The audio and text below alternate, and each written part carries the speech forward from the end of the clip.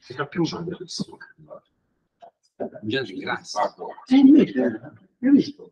Achou?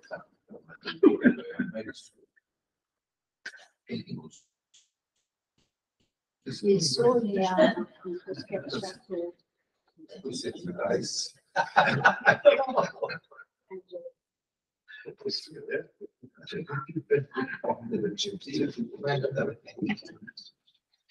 si è costruito eh, quello Sì, lo conosciamo perché sono già i tre, poi abbiamo la presentazione di tassi. Sì.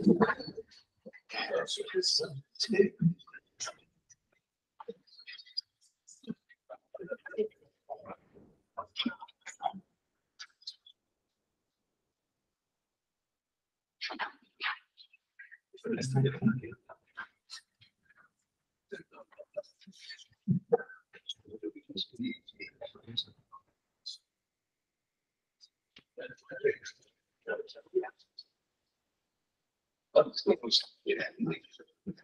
Uno c'è qua, c'è la mamma del figlio, grazie.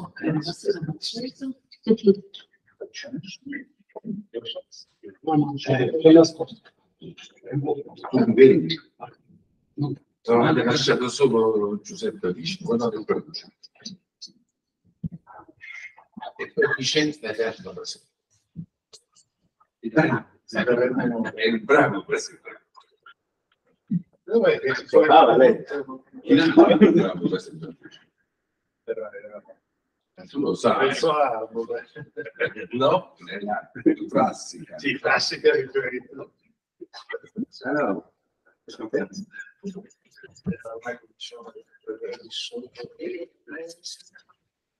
Sono so are half an hour late.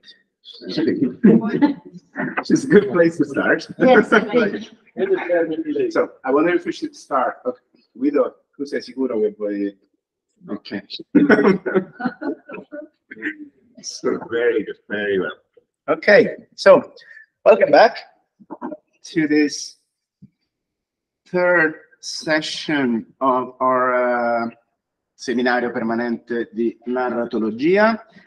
Um, I'm your host, Antonio Bilbao. And um, I can't wait to uh, start this very rich afternoon. We have very like cross-medial session, I guess, this afternoon, talking about radio drama and uh, ending with video games. So it's pretty rich, and we're going to uh, explore, I guess, other um, maybe not levels this time, but worlds, monde, uh, uh, the world of uh, comics, uh, radio, and uh, um, video games as well. Uh, so our first speaker today is um, Jarmila, not Jarmila, Jarmila. Jarmila. Jarmila. You said. Uh, sorry, I was It's okay. Jarmila Mildorfan. She teaches English language and literature at the University of Paderborn.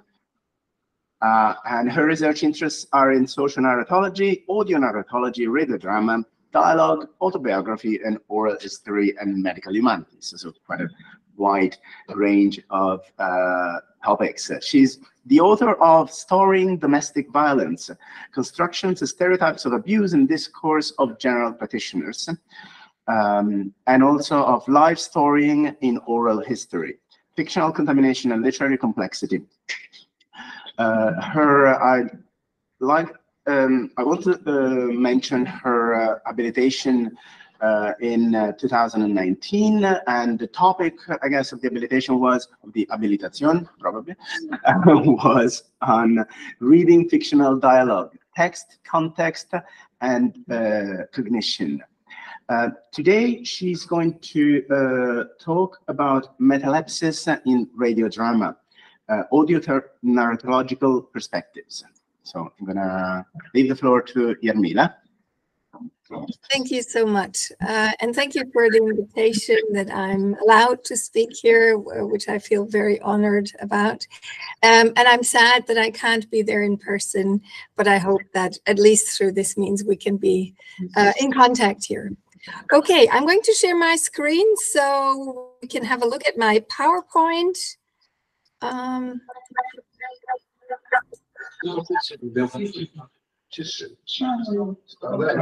this okay? Yes. Okay. Right. So I give you a quick outline of what I'm going to present in the next 20 minutes or so. Um, so first of all, I'm going to just touch again on some theoretical questions, which I guess you've already covered in great detail over the past one and a half days. Um, then I'm going to address specifically the question of metalepsis and radiodrama and some of the specifics in this uh, special medium.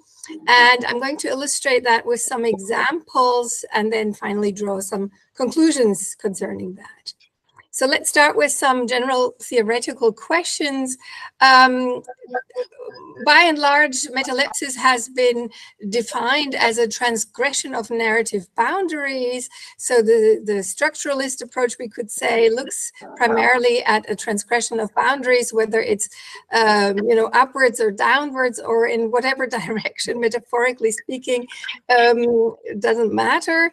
Um, and some scholars have talked about exterior or interior as well as story and discourse level metalepsis okay? That these transgressions can happen at the story discourse distinction and at these two different levels.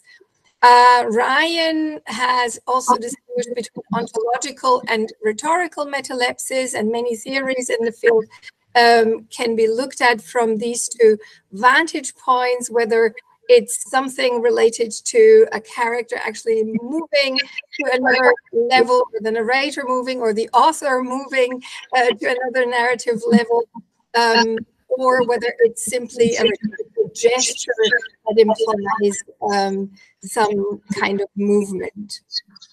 Um, have focused more on the reception side. I have this echo. Do you also hear some echo? Do we need to switch off something? A little bit actually. Oh, maybe uh, can you can we can you try can you try and talk now? Because maybe it's the the microphone was pointed at the room, so maybe that's uh, can you can you speak now and see if that Yes. Hello. Okay, I think that's better because I was just Yeah. hearing all. This. Okay. Sorry, I just continue. Um, yeah, so other scholars have uh, focused more on what this does to the actual act of narration. Okay, so that it's not simply um, a structural feature happening in the narrative and affecting the different narrative boundaries, but that it actually does something to the overall narrative act. Uh, scholars like Hanebeck have also taken into consideration the readerly side um, and the effects on readers um, of. That the readers are made aware of the fact that something is going wrong as far as the narrative act is concerned. And something similar was argued by Kukkonen, who said um, with metalepsis, readers are reminded either that someone is telling the story or that there is a reality outside the fictional world. Okay, so this transgression, which actually makes us aware of the fact that what we're dealing with is a fiction. Um, and in that sense, I think other scholars have mentioned the term defamiliarization, that metalepsis is, of course, um, a prime example for the functioning of defamiliarization in, in literary texts. Um, other scholars have draw, also drawn this connection to, met, to fictionality and this question of illusion and disillusionment. Okay, so if we consider a piece of fiction is trying to create an illusion of a story world, then metalepsis would be the technique that disrupts this, that creates a disillusionment, uh, and again makes us aware of the fact that it's a piece of fiction that's been designed in a specific way. Okay, so these are just very briefly some of the, the key concerns um, uh, related to the study of metalepsis. And I'm now trying to sort of adopt that for the study of radio drama from audio narratological perspectives. I think radio drama can offer a lot of um, material that can be studied and that maybe sheds new light on this question of metalepsis as well. So to start with, um, any art form that is not simply a written narrative um, will have not just the story discourse dichotomy, but also a medial representation. So there are actually three dimensions to bear in mind here.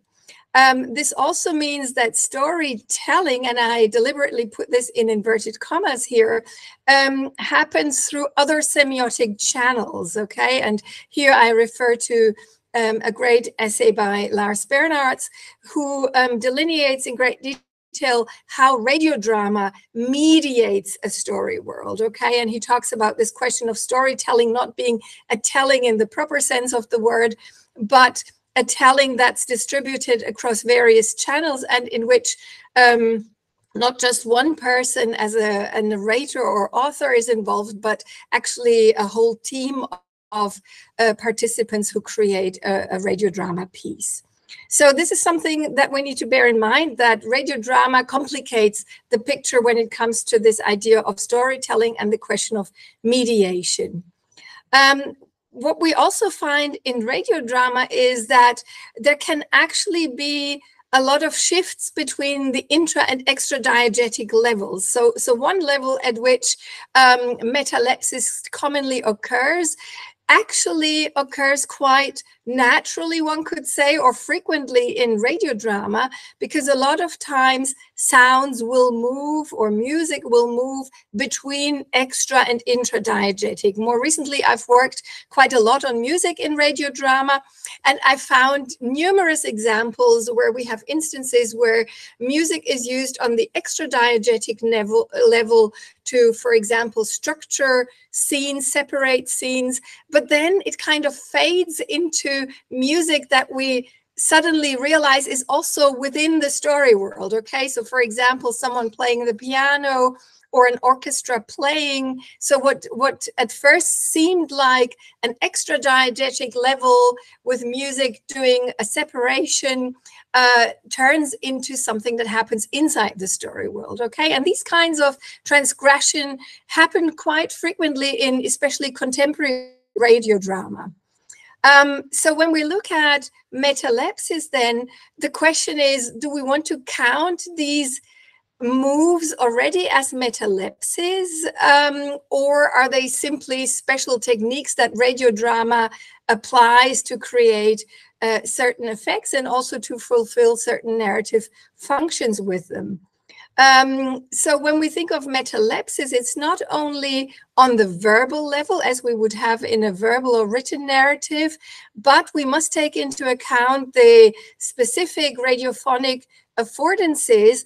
And then we come close to the question of meta radio drama. And, and one of the, the questions I think one could explore further here is whether metalepsis turns into something like meta radio drama um, just as we have meta theater, for example. Okay, so these kinds of self-reflexive moves um, that also mean that certain boundaries are transgressed and that make listeners aware of the fact that what they're listening to is a piece of radio drama. So the effect on listeners, I think, is also a key question when we look at radio drama, because obviously um, listeners do a lot of work to imagine the story world just by listening to certain cues that they are given through the oral um, channel. Okay, I'd like to um, illustrate some of these questions with examples, and there are plenty of examples out there for moments in radio plays that can be considered metalepsis. Um, so uh, to go to a classic in radio drama, Orson Welles' is The War of the Worlds, which is an adaptation of H.G. Wells's novel of the same name. Um, in this radio play, we see right from the beginning an instance of metalepsis in the sense that Welles, as the radio producer, um, also appears as an anchor, so the person who introduces the radio play. Um, so he says something about what's going to happen, but then he immediately speaks words that are actually directly quoted from Wells's novel. Okay, so he he seems to be talking as a radio anchor or radio speaker addressing the audience, but the words that he uses are already lifted out of the original text. And here we see how the boundaries between fact and fiction start to blur because Welles appears in his own character or persona. He's not uh, hiding behind a role, but he is actually Orson Welles at that moment. Um, we also see throughout the play that it's very closely modeled on radio programs and on features of different radio programs, such as breaking news, such as music radio. Um, so the, the, the whole piece oscillates between these various moments where we seem to be listening to some news item or we seem to be listening to uh, music radio that's meant to entertain us. But of course, it's all part of the fictional world. Okay, so the, the, the trick in this play is to create a sense of us listening to a regular radio program, but in fact, what we're listening to is a fictitious radio program, which then uh, contains this outrageous story of Martians having landed on Earth. Um, another technique that um, alerts us to this constructedness is the silence that's suddenly used at certain moments in the radio play to indicate that communication has broken down okay? As if there's suddenly no longer a communication with uh, a reporter on site or people you know reporting into the studio. Um, and uh, this points to radio's very own problem that it can't allow for sound because this would always indicate some kind of problem in communication okay? So all of these points suggest a sort of meta reflection on what radio as a medium actually does and this is built into the story to also create suspense uh, my second example is a contemporary play by Dan Rebellato, a contemporary British radio playwright. Um, and it starts out with an interesting frame narrative, which features a conversation between a radio producer, voice actors who've come to record a new radio play, and the actual author. And the, the metaleptic aspect here is that the author featuring in this frame narrative is the actual author, Dan Rebellato. And I've brought along that example. So let's listen to this. I hope you can So hear we're that. kind of used to it now. Yeah, the new normal. It'd be really nice to get back into studio because you've just got so much more flexibility in how you can record, Yeah, I suppose you do. which is harder at home. Mm. Oh, hang on. I think our writer's here. I'm just going to let him in. Just connecting to audio. Do we have a schedule? No, I don't think so. No, I'm going to say something about that in a minute. Fine, fine. Hi, Dan. Dan, you're muted. Sorry, sorry, sorry, sorry. I'm always doing that. So this is our writer, Dan. This is Rachel and Robert, who are, are Naomi and Tom. Thank you, guys. Thank you so much for doing this. Nice work, man. It's really, really good words. It's great. It really lifts off the page. Yeah. Thanks. Well, look, we're just going to launch straight in. We don't have a schedule as such because the way it's written, it's continuous. So we thought we might just go from the top and record and see what happens. Mm. Is that okay? Yeah. Yeah, sure. Just give me a moment to set up. Yeah. Yeah. So, Polly, um, we were talking before and we had an idea about something. Microphone muted. And she's gone. Yep, she's got them. All right, when she gets back. Yeah. Dan, we were saying we had an idea about something that we'd like to try, actually. Yeah, I think you should probably run that by Polly. It's sort of Polly's show at this stage. I'm just the writer. Okay, no problem. Hi, I'm sorry about this. We're still just setting up. Would just be another minute. Yeah, Cheers. yes, no problem. Microphone muted. I had one question about the beginning, actually, Dan. Oh, sure. I'm probably missing something, but are they in his office building or outside it? I'm imagining a sort of atrium reception area. I probably didn't make that. No, no, clear. that's that's sort of what I thought. Sorry, I better take this on mute. I won't be. Microphone muted. Did she say anything to you about accent? No, why are you doing one? No, just my own voice. Sorry about that. So let's go for a take. Yeah. Okay, and then it goes on like this until they eventually start recording, and then the actual radio play starts. And of course, the interesting aspect here is that the author is included in this frame narrative, and the the voice actors here make an effort to make this sound as if this was um, a, a random conversation that they're having before the recording begins. But of course, as a listener, you quickly realize these are acting voices rather than natural voices, and that the the dialogue we have in the beginning must be scripted okay? So this is already part of the actual story even though the story uh, you and me technically only starts when the, the radio play um, begins to be recorded.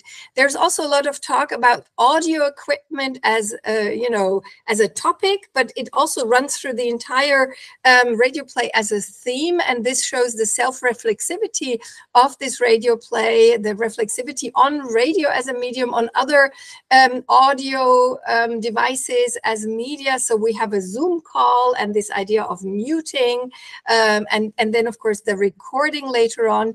Um, and we also have later on a, a, rather strange setup that the the voice actors uh, decide to swap roles so that they can feel with the characters. So the woman speaks the man's role, the man speaks the the the woman's role and this is very much in shakespearean fashion you know to to swap gender roles. So we have a lot of playfulness here but the instance of metalepsis is really in the beginning when we have uh, and also at the end when we have the actual author being present in this conversation. So we're all um, something similar happens in Alasdair Gray's Lanark, uh, which was adapted to radio. Um, and I also dis- uh, discussed that in article. Here we have a similar um, scenario that the author, the actual author, reads himself. I mean, Gray's Lanark is already a very postmodern piece of fiction, which uh, has a lot of metalepsis and transgressions of boundaries. And there's one moment in the novel where the author appears as a character or starts interacting with his characters uh, and that moment is recreated in the radio play. But here, interestingly, the actual Alasdair Gray starts speaking. And of course, as a listener, if you don't know Alasdair Gray, you won't realize that uh, at first glance. But when listening at the cast, you see that. And this creates a double joke. And I would say it's a, it's a form of double because we have this metalepsis on the verbal level, which is taken out of the verbal narrative, of the, the written narrative. But then in the medium of radio, with the actual voice of the author, we have this doubling of that metaleptic move. Um, and then my final two examples, which I'm going to cover only very briefly, uh, two radio adaptations by um, of Milton's Paradise Lost. One is the the English BBC production, and the other one a German radio adaptation by Andreas Ammer, which I discuss in an article um, from 2021. And both are interesting because they both play with um, the the original text and recontextualize it in an interesting way, also including metalepsis. So in the BBC production, for example, we have Satan who suddenly features as a kind of narrator or commentator who seems to be talking to us directly. Okay, so he seems to be addressing us as the listening audience. Um, and this is a very interesting transgression because technically Satan is a character in Milton's text. Um, but the question is, is this really a, a, transgression of narrative levels, or do we want to say, well, mm, at least in certain frameworks, Satan exists as a persona in the world. Um, so it's just a recreation of that kind of setup. Okay, so it, it really plays with the existence of Satan and Satan both as a character, but then here assuming power by becoming actually a narrator and commentator who is very derisive about um, Milton and his, you know, writing of Paradise Lost. In the German adaptation, we have very interesting moments of meta commentary on Milton's text. So, um, in the course of the radio play, we have the narrator commenting on the style of the narrative, on the narrative trajectories and effects of the text. Um, the original um, radio play was performed on stage. That is to say, the audience could actually see the production process, could see how um, a radio play is uh, realized, and this is, of course, metaleptic in, in the truest sense of the word, because it, there's a, a, clear transgression between what's the story world and what's outside of that, what's the real world. Uh, and then towards the end, we have an interesting moment where characters start commenting on the actual performance. So they say something like, still speaking in their voice as characters, um, right, we've reached the end of this play and now we're going to give an encore, you know, and they really uh, play with the, the situatedness of the performance uh, in front of an audience. So this is another instance of metalepsis, I would say. Okay, so looking at these examples and many more could be found, especially in contemporary uh, radio plays, um, we, we have to say that in radio drama, metalepsis clearly cuts across story, discourse, and representation. So we always need to sort of have this triangular structure rather than just the dichotomy. And if we look at transgressions of, of levels, then we to complicate the picture by not just considering story and discourse at the verbal level, but also look at how other semiotic channels contribute towards these uh, breaches or, or um, yeah, crossings over into other um, domains. Uh, one question one could ask but this would be really a theoretical question to explore further. Is metalepsis perhaps even an inherent feature of at least contemporary radio drama? Because as I said in the beginning, this transgression uh, of boundaries between the extra and intradiegetic level um, uh, when it comes to different sound aspects it seems quite regular and happens really quite a lot in contemporary radio drama. Okay, so it's an aesthetics that's used quite frequently. And the question then is, um, can we say that radio drama in itself is already metaleptic in its outlook? Uh, but then, of course, if we take not just the structural aspect into account, but also this question of disillusionment and, um, you know, the idea of how listeners are made aware of listening to a piece of fiction, then we also have an analogy to what we see in theater, this breaking of the fourth wall, although we really need a new term here because obviously, uh, you know, since we can't see anything, uh, there needs to be some other conceptualization here. Um, and then, as I mentioned in the beginning, this movement towards meta radio drama, okay, that what we're looking at is not just um, but also taking into account audiophonic um, features, uh, the, the aspects that are inherent to radio drama that make us think of um, metalepsis at the level of technologies, of the sounds, and so on.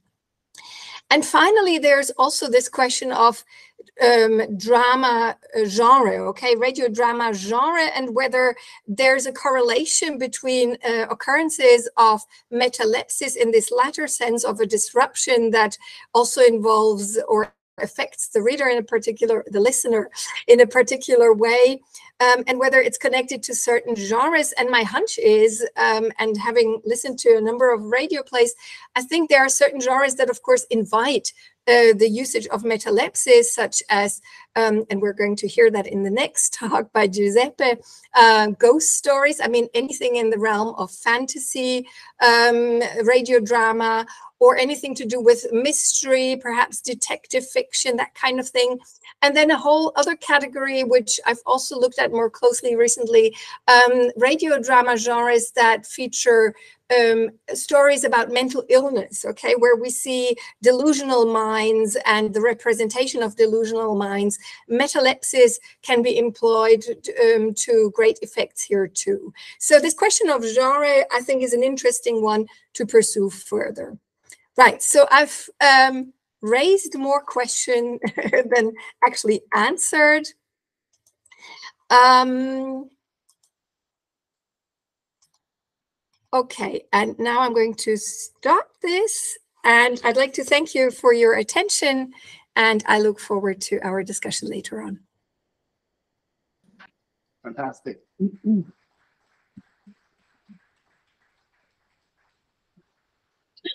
Thank you so much, uh, That was excellent. Um, I'm looking forward to the discussion later on, what we heard from Giuseppe Piscopo And I'm uh, actually really happy to introduce Giuseppe. He's a longtime friend. And uh, yes, we will swap places, but let me introduce you first.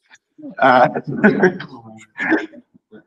and um, Giuseppe is, um, is a lecturer at the University of uh, Roma uh, in uh, literary criticism and comparative literature. And he's a member of the Horizon 2020 project at TransArc, ARC, I guess, so it's archived in uh, transition. Uh, he previously, previously worked as an associate lecturer at Edinburgh University and at the University of St Andrews as well. His publications that I would like to um, focus your attention on are mainly deal with uh, Pynchon's Gravity Rainbow and uh, uh, Stefano D'Arrigo's Horcynus Orca, which is the, the book is called L'eredità della fine. Uh, and then there's another one, which is more recent, uh, on uh, Carlo Emilio uh, Gadda called Macchine d'Espressione. Uh, he's also edited uh, um, a lot of books and participated in um, a lot of projects, including this, of course, Seminario di Narratologia Permanente, which is one of the um, long-time contributors to the uh, Seminario. He is also a translator. He translated works by um, Peter Brooks and Fredric Jameson and Franco Moretti into uh, Italian. And today, and I hinted at, he's going to he's going to talk about uh, radio drama. Uh, the title of his contribution is "Are You Shivering? Voice and Metalepsis in Radio Ghost Stories." Um, we will take answer on both papers uh, at the end of Giuseppe's contribution, and uh, Now to start. now to start. Technical problems. Okay. Oh, I missed those. Uh, Available. So first of all, um, Okay.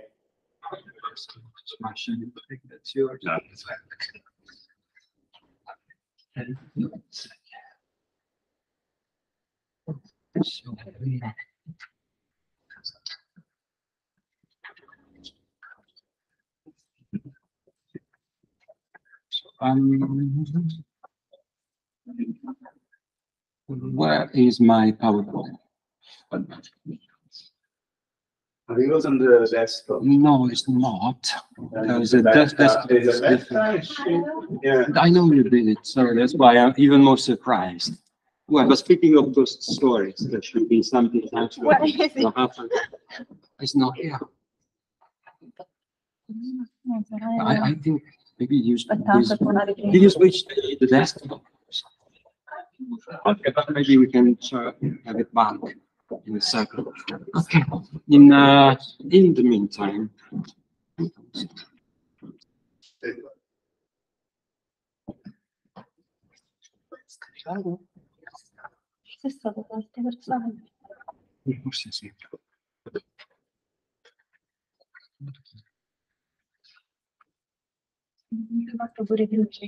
Sì, eh, that's why it's very strange. see.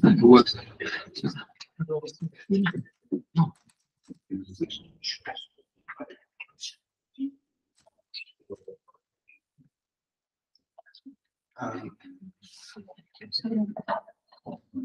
Ok, di sta adesso. Sì, sì, sì, no, no, no. Grazie. So in the meantime, uh, I was wondering, are thanking the organizers, yes. Because it would be some kind of narcissistic move, in a way. Just thank people. It's always good. And that's, it's, Ed è condivisa? Ok. Però questo. No, adesso resta because of it's a metal at the moment. Okay. So I, well, it's strange speaking about radio without microphone before. Uh, that's, that's fine. Uh, and well, I was, uh, I learned a lot in these two days and uh, listened a lot and rewrote a lot my my paper as well. So it's uh, it has been very, very interesting so far going on on, on this project. And now I'm starting actually from a very uh, from the advantage position of well, being in the third panel after Jean Pierre, after Francois Lavocat, after Jarmila, Jarmila Mildorf spoke. Uh, and they have some kind of very inspiring talks. And that gives me, gives me the chance of minimizing any kind of introductory part and go straight forward to uh, the point, knowing that I'm not skipping any key passage because they have been already covered so deeply. And so, uh, in a rhetorical move, I do not have to mention how and when Gérard Genette coined the term. I don't have to mention that he defined it as an intrusion of the extra diegetic into the diegetic universe. And uh, definitely, I don't have to recall the Genettian categories and subcategories of metalepsis, especially after the rich and detailed analysis that our keynote speaker yesterday, John Pier, gave. Uh, I might mention, though, um, Monika Fludernik, recalling that Genette gave an example of metalepsis in the second chapter, Duration, when he refers to a typical Balzacian narrative pose in La Vieille Fille, in which a narrator and a reader together enter the Cormon townhouse in order to gain a view of the scene. And I mention this especially because of the role this passage played in a moment, the two moments in which Peter Brooks speaks about metalepsis in his reading for the plot. Um, oh, this is from Joy Division. There are several mentions of radio in uh, in pop culture and pop and pop uh, music. I'm using this just for post-punk reasons. Um, so, and uh, this is the passage, uh, but we know that the Balzacian novel, on the contrary, establishes, uh, establishes a typical extratemporally descriptive, descriptive canon. And uh, there is also, and that was quoted and recalled by Titti today, the note attached to the previous quote, which Genette associates the trope to a metaphoric rings of Gyges that allows narrator and narratee to be present but invisible on the scene.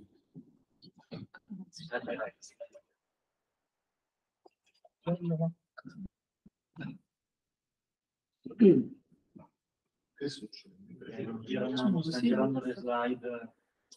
Ah, rimane bloccata. Eh, stiamo parlando come se chance dello schermo, non del programma che è a classe. Ok, adesso Yeah, don't spoil it.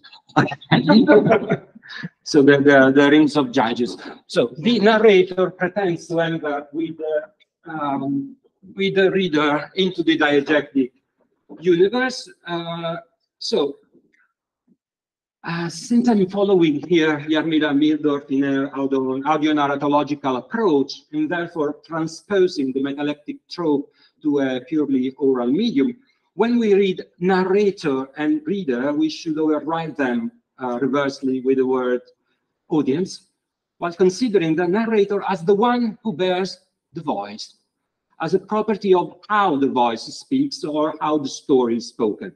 And I'm clarifying here that the term voice in narrative was coined in connection with the question who speaks.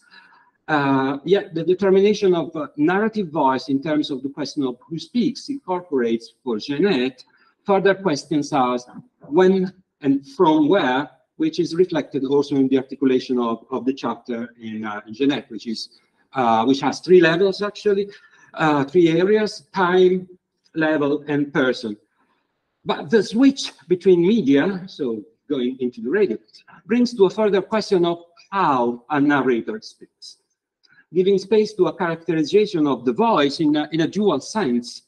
The one which is kind of physical, uh, that goes in the direction of the tone, the idiom, the speech style, the mood, and also how a particular voice speaks and it distinguishes itself from the other competing voices. And the second one is the is the question for, of, of orality, which implies for me at this moment also in this particular uh, topic here, plot and storytelling. And here I get in my, my conceptual frame that Peter Brooks developed when in the chapter The Novel at the Guillotine, in, in, in reading for, for the plot, he draws our attention specifically the specific and curious intrusion of the arbitrary that we find in relation between an anecdote that served as a source and armature for Le Rouge et Le Noir, and the narrative discourse invented on its basis between the raw material, of story and its elaboration in Julien's plot. This anecdote is strangely contextualized early in the novel and, uh, it's, and condensed in, in a condensed and displaced form. So the ending of the novel appears to mark a new intrusion of the newspaper, the raw material, that gave origin to the novel, now appears in the novel, dictating that Julien must finish in the same manner as the prototype from whom he has markedly deviated.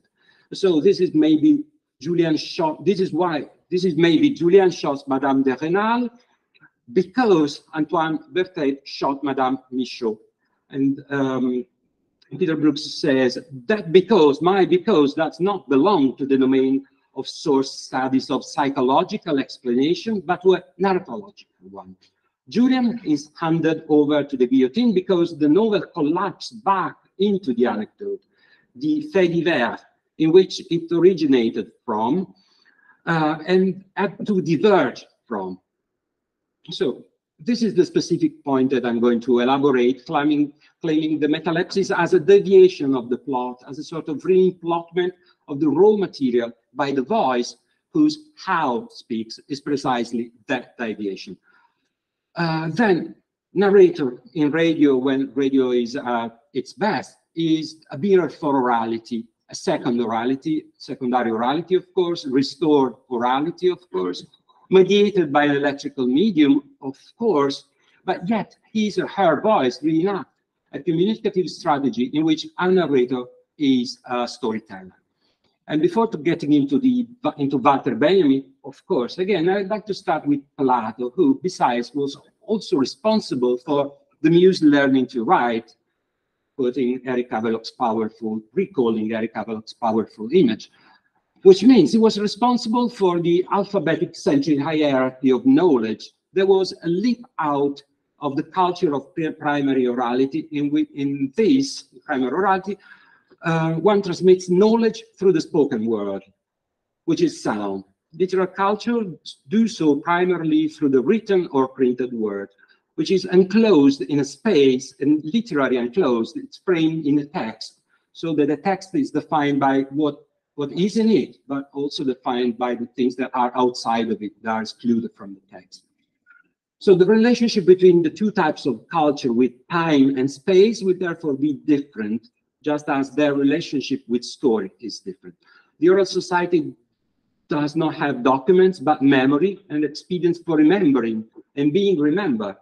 And a certain organization of the discourse, like formulas, proverbs, the rhythmic pattern, so uh, going back to Plato, Plato notes in his Phaedrus that the problem with the written texts is uh, with the written text is that they uh, they go around everywhere promiscuously, and it's impossible to know how they will be received, how they will be interpreted, or acted upon.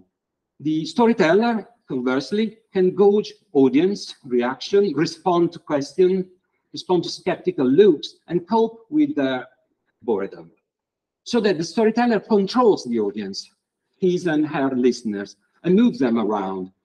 And now I'm introducing my first example here, my first case, that is uh, of a Saki short story, The Open Window. Saki was the British writer H.H. Munro, who lived in the period that Eric Hobsbawm called the Age of Empires, 1970 1916, which is the, also the year in which he died in the battlefields of World War One. I remind, I'm referring to the radio adaptation of The Open Window as Peter Brooks focused on the original story because it shows perfectly, it's a very concise story, it's three, four pages. The interaction, as Peter Brooks says, the interaction of teller and listener. So The Open Window is from Beast and Super Beasts, 1914. It was adapted for the BBC Radio 4, as you can see here, in uh, May 2005 as the fifth and last episode of a series called Five Days by Saki. The story is about Frampton Nuttall, who, in a search for a cure for his nerves, goes in a rural retreat in the countryside with a letter of introduction from his sister, from his sister, and he arrives at Sappleton's house. So this is the general setting for the tale of terror he's about to, to hear. Uh, while waiting for Miss Sappleton, he makes to make her appearance. Mr. Nuttall is entertained by the self-possessed 15 years old niece, Vera, in a drawing room with a French window open to the lawn. Once Vera got clear that Mr. Nuttall knows nothing about her aunt, she invents. So Nagosh Na- Saki's short story starts from here, and uh, we are provided with the background that I gave you before in the second paragraph when the narrator takes on from Mr. Nuttall's words. The radio adaptation, on the other hand, creates the objective space, creates this objective construction of the story, letting us hear the farewell on the train platform that sets the protagonist at the beginning of his journey. Then we have the first word pronounced by Phantom's sister, which is window, that in sort of Chekhov's gun moment uh, appears now in the first act and will play its role later on in the in the fifth act. And then we have a further setting that locates us in the countryside with a horse coach driver adding some negative hints uh, to the family uh, Mr. Nathan is, is playing is visit the subtlety. Nothing of that is in the short story, which starts in medias res, where the adaptation brings us later on after the first two minutes and let you hear something from it. Well, I have to do it from here. Maybe not even from here.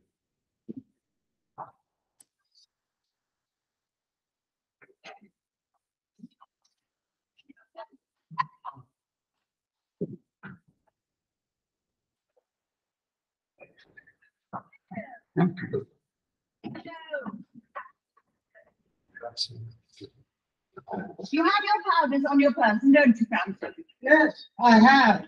They will have hot water in the restaurant. Yes, of course. Yes. This is going to be extremely beneficial, I'm sure. I hope so. I didn't greatly appreciate my time in Norfolk. You were too solitary. You simply buried yourself down there and didn't speak to a living soul. This will be different. No more moping about on your own. Some of the people, as far as I can recall, were quite nice. You have my letters and introduction. In my pocket, yes. Don't let them fall out. Please, Caroline, I haven't lost my wits. I can still look after myself. Ah, oh, I wish they wouldn't do that. Oh dear, I do so hate Aunt Stop here just to show you the setting of the story that was created in there. Now we are at the Sappleton's house, uh, where Mr. Nuttall speaks with Vera, and we have a kind of classical uh, board conversation when immersed in the in the boredom of the time passing with Mr. Nuttall waiting for Miss Sappleton to arrive. And um, and uh, and then when when uh, Vera realized, well, as I told you, that Mr. Nuttall knows nothing about about uh, her aunt, she she uh, she starts inventing. So this is the very moment in which um, we have the new plot created. Perhaps. I've been undergoing a nerve cure, and my sister places great faith in the effects of country air. Great faith. I've seen a lot of England over the past months. The most agreeable time in Sussex in the summer. Wiltshire. Devon too. Have you ever been to Devon? Holidaying on the sands? Ah. I, uh, hmm. Do you know many of the people around here? Oh, hardly so. That's the thing. No one at all. Caroline was staying here at the rectory, you know, some four years ago. And she gave me letters of introduction to some of the people in the area. Then you know practically nothing about my aunt. Mrs. Southampton, only her name and address. Have you noticed something, Mr. Nuttall? The clock. It stopped ticking. Hmm. Yeah. So it is. That's odd. Yes. It's a very comfortable room, though, this, isn't it? All those sporting prints. Very cheery? My aunt is very cheery. Well, perhaps a little brisker than she used to be. More abrupt, one could say. Otherwise, one would hardly know. But there are little things, like the way she refused to change anything in the house. So I let you go with with all the other listeners to the boredom of, of an evening in there with the clock ticking. And then Vera uses the clock that stops as a supernatural sign. And now she starts inventing her own uh, great tragedy that took place on that very day by drawing the attention to the window that was left open in an October day. And the window becomes the actual frame for, for a framed story that happened within, within uh, the open window. Now, Vera tells that story. These were never recovered. That was the dreadful part of it. and now, because of it, poor aunt thinks that they'll come back one day. Oh, the, the, the, the tragedy is that her husband and a group of um, brothers and sisters, they went out hunting and they never come back a few years uh, ago. And uh, her aunt left the open window hoping for them to come back. A little brown spaniel that was lost with them. And walk in at that window just as they used to do. That is why it's kept open every evening till it's quite dusk. Poor dear aunt. She's often told me how they went out. Her husband with his white waterproof coat over his arm, and Ronnie, her youngest brother, singing Bertie, why do you bound, as he always did to tease her. She said it got on her nerves. Do you know, sometimes on quiet evenings like this, I always get a creepy feeling that they will walk in through that window. I, I, I had no idea. And then our hunty appears, and Mr. Stapleton talks about, again, the weather, the prospect of uh, hunting season, local news. Nuttall talks about his poor health. It's, it's boredom again. Later on, Mr. Stapleton says she's waiting for her husband return with the shooting group, and Nuttall, influenced by the tragic stories, has been told, takes that as an evidence of obsession. So that when Mr. Stapleton announces here they are at last, just in time for tea. Nuttall turns to Vera, who cries not to be left alone, and in a chill shock of nameless fear, Frampton Nuttall looks in the direction of the window, and there he sees three figures walking across the lawn uh, towards them uh, with a with a dog, and the voice of uh, a young voice chanting out, "I said, Bertie, why do you bound?" So Nuttall runs from the house for his life as fast as he can. Mr. Sup Mr. Sappleton returned home with his baritone voice, asks who was the one that was running away, and his wife replies that it was a man who talked of nothing but his nerve illness, and then ran off without an apology, as he had seen a ghost, which is exactly uh, what he has thanks to Vera's performance. And now Vera controls the plot again, offering an explanation in the form of an instant fiction to the baffled Sappletons. I expect it was the spaniel. He told me he had a horror of dogs. He once was hunted uh, into a cemetery, cemetery somewhere in the banks of the Ganges by a pack of pariah dogs and had to spend the night in a newly dug grave with the creatures snarling and grinning and foaming just above him, enough to make anyone lose their nerves. Uh, the story ends with Mr. Sappleton saying, romance at short notice is rather his speciality. And Brooks builds on that and points out that in a larger sense, the story is about the power of storytelling. Um, Vera's first story, marked the generic indicator of tragedy, succeeds in conjuring up ghosts for its listener when the hunters appears, and her second story then allies the ghost by explaining Nuttall's excessive reaction. Uh, so Vera produced a story that swallowed his listeners, showing, uh, as Pier stated in the uh, in, this, in his afterwards to the volume Metalepsis in Popular Culture, the fragility of the boudoir that separates uh, the word of telling from the word of the told. And in terms of falling into the word of the told, in terms of seeing it, it is very significant also what Francois Lavocat said about the author, the author and the character, um, and the presence of a sort of metalepsis of self-consciousness. Just in here, we have a creature that turns into a creator where uh, giving birth to a space in which is, she swallowed another creature there. So in other words, Vera make him see the story, a story which is which never was, or better, that was created by the storyteller. So the listener, the audience, they see the story, uh, and that is the primary act of storytelling. The verbal media, says Werner Wolf, represent the domain par excellence of prototypical narratives. And that primary act is enacted also famously by Joseph Conrad at the beginning of two novels in which famously the leading voice of the story shows to its audience uh, the story that has to be to be to be seen.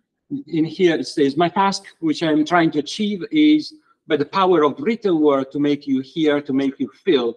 It is before all to make you see. And this is a nigger of the Narcissus. A year later, uh, the uh, Joseph Conrad erased the written text. It's just the storyteller that speaks in here. Do you see him? We are on uh, on Nellie that is stuck at, at the dock. Do you see him? Do you see the story? Do you see anything? Um, so this is the act of, of storytelling, to create a world for the listener to be seen. And um, I'd like to go on maybe with the second case that I'm presenting here. And it's uh, the house at Spook Corner.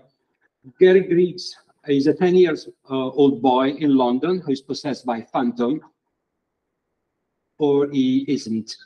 And um, the house, Spook, the house at Spook Corner is a radio drama about fiction hysterias, Satan's Playground, produced by Justin Folks in the story a man with a questionable approach to truth. What we are dealing there in the in storytelling is uh, one of the most famous cases of poltergeist in the UK that got the attention of different persons, the media people, Justin Folks and Alice Weston, the, present, uh, the presenter of the program, Professor Vecchi, which is a skeptical scientist, and Davis Morris, uh, author of book on, para, on, on paranormal. The uh, so there is the first episode of the series that has been that went on air 10 years before the story that we are about to hear. And 10 years later, when uh, Griggs' house is about to be to be uh, to be destroyed, the new producer was to go back to the first episode and see all the material that hasn't been broadcast in, in the episode as such. So looking for, for a second truth and a second side on the, on the story again.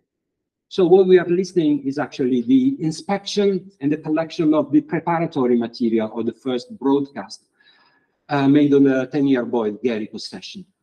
But everything that we hear was just behind the scene. I want to show, I want you to listen just this passage over here, which is the first time in which Gary uh, got a different kind of, of voice through which he speaks. He comes at night, go back, go down. We wondered who on earth it was. You get back to bed this instant, Mrs. Griggs. Come on, go back to bed. It's long past your bedtime. Mrs. Griggs, there's something wrong. Gary? Gary? Maybe it's just what is happening? He's got his eyes out. People do see what with their eyes open, isn't Look at those eyes. Gary. He hasn't blinked once. Gary, say something. Shut up, that bitch. Gary. Get out of this house. Gary, can you hear us? Can you say that again? I'll get the tape machine from upstairs. Sound English. Because I'm too polite, neither. It's French, and he isn't being very polite. In fact, he's being bloody rude. Have copied it from someone at school. They teach French. They don't teach that sort of French. Is great. Can you speak French, Jim? Not very well. I spent a couple of months in Paris. Okay, so the, the ghost speaking French was too tempting not to be to be used in here. Uh, do I have two minutes? Yeah. Okay, so just jump to the to- One and a half. Okay, just jump to the conclusion in sense. Uh, so the conclusion is that all in all, who bears the who bears the voice does not own the raw material. Brooks was speaking of that in reading for the plot, but thus possesses the plot, which is in radio the mediability of how the real thing would sound, so the voice of the ghost in this case. Uh, that the teller remediates in the in the outer world. So my novel is finished, and I would no longer be a monster, says Julian in the Julien in the Rouge and Renoir. Gary's dad is no longer the monster, whereas the monster is the envelopment, because it's the figure of displacement, transgression, desire, deviant, deviance, instability, as Brooks says about the figure of Julian's project for himself of his uh, projective plot. So I resorted to a highly characterized genre as ghost story horror stories to bring to the extreme what Peter what Brooks claims when he stresses plot itself, narrative design, and intention is the figure of displacement. Yeah. Is the is the uh, is the figure of uh, of displacement, desire leading to change of position. The plot and narrative is a deviance from or transgression of the normal, a state of abnormality and error, which alone is narratable. So now, who does create the outer plot? The teller, the one who bears the voice, swallows also the other characters in it. Uh, I just finished by stepping back for a moment and to reflect on, on, on how radio, the first of the electric media of the 20th century, described itself in the tradition of devices and supports that carry the text.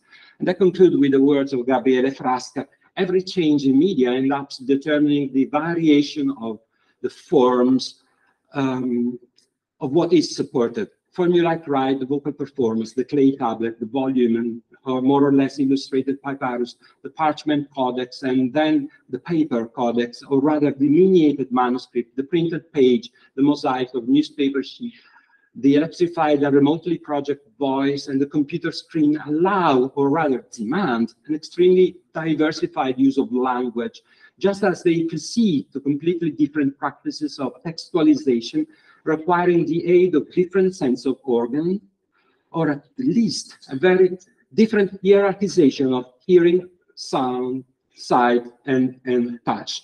So all in all, uh, I think that it made sense of that at the table when we were having the lunch in a conversation with Paolo Giovannetti, because, well, maybe a single element could show that at very best is the Wizard of Oz, where the voice creates the lamp, creates the place in which all the characters are swallowed in. So one of the powers of the voice is the one of created words in the sense that the Wizard of Oz showed. Okay, thank you very much indeed. There is a, a scare jump image over here. Don't don't get too scared.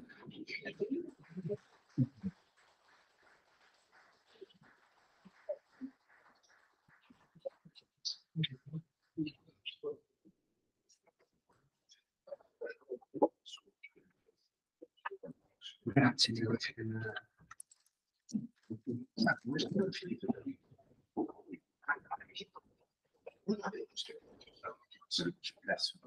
Facciamo adesso le domande, poi dopo. Eh, no, non ti metto qui Matilde. Tutti e quattro, tutti domande. No, sono... Eh, ok.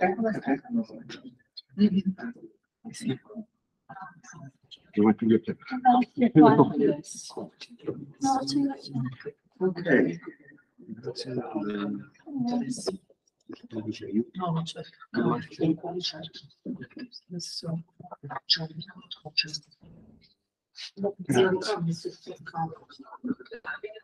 Se io avete una chiavetta con la pista. No, no, aspetta. Prima non le faccio nessuno. Ah, no, tu mi fai, fammi fare il medio. Sì, sì. Sì. Sei chiamato? C'era bisogno.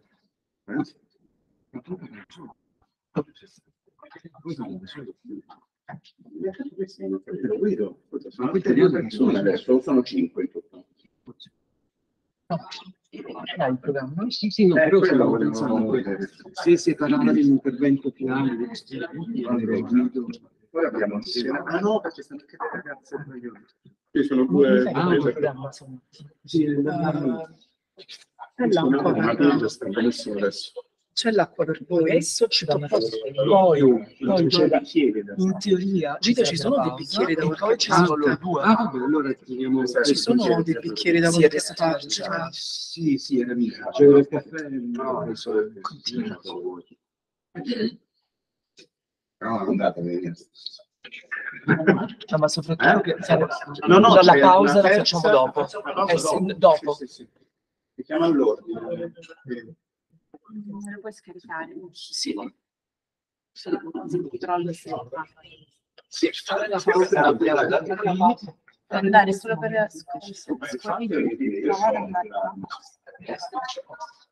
per vedere se magari se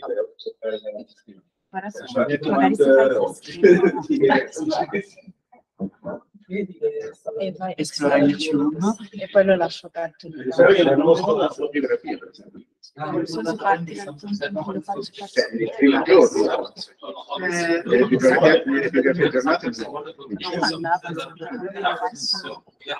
adesso che abbiamo scaricato no, eh, posso, posso, posso disconnettere se andare in narratologia o no? Ah.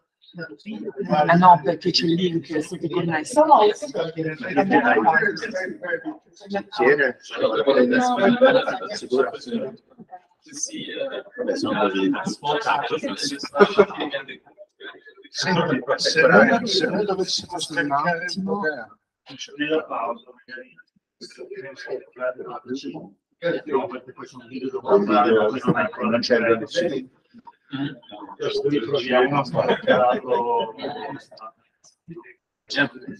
chissà se. Voi no, state notte, cioè io. Eh, ma il problema è che il video su di che l'abbiamo guardato stamattina. Tu mi sa che sì, mi sa che sì. Tu mi sa che sì. Ma dove sono i consiglieri ci ritrovano? Sì, ci metto un po' di più perché avevo calcolato, cioè avevo fatto partire il video da una cosa, vediamo la log. Sei dato tutto subito. Il mio error sul... Comunque avete provato con Media Player? Sì leggerò io.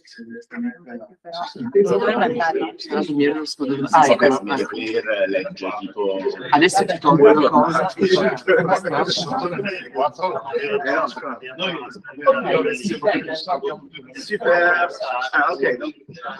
Scusa, ma fai in italiano, in inglese?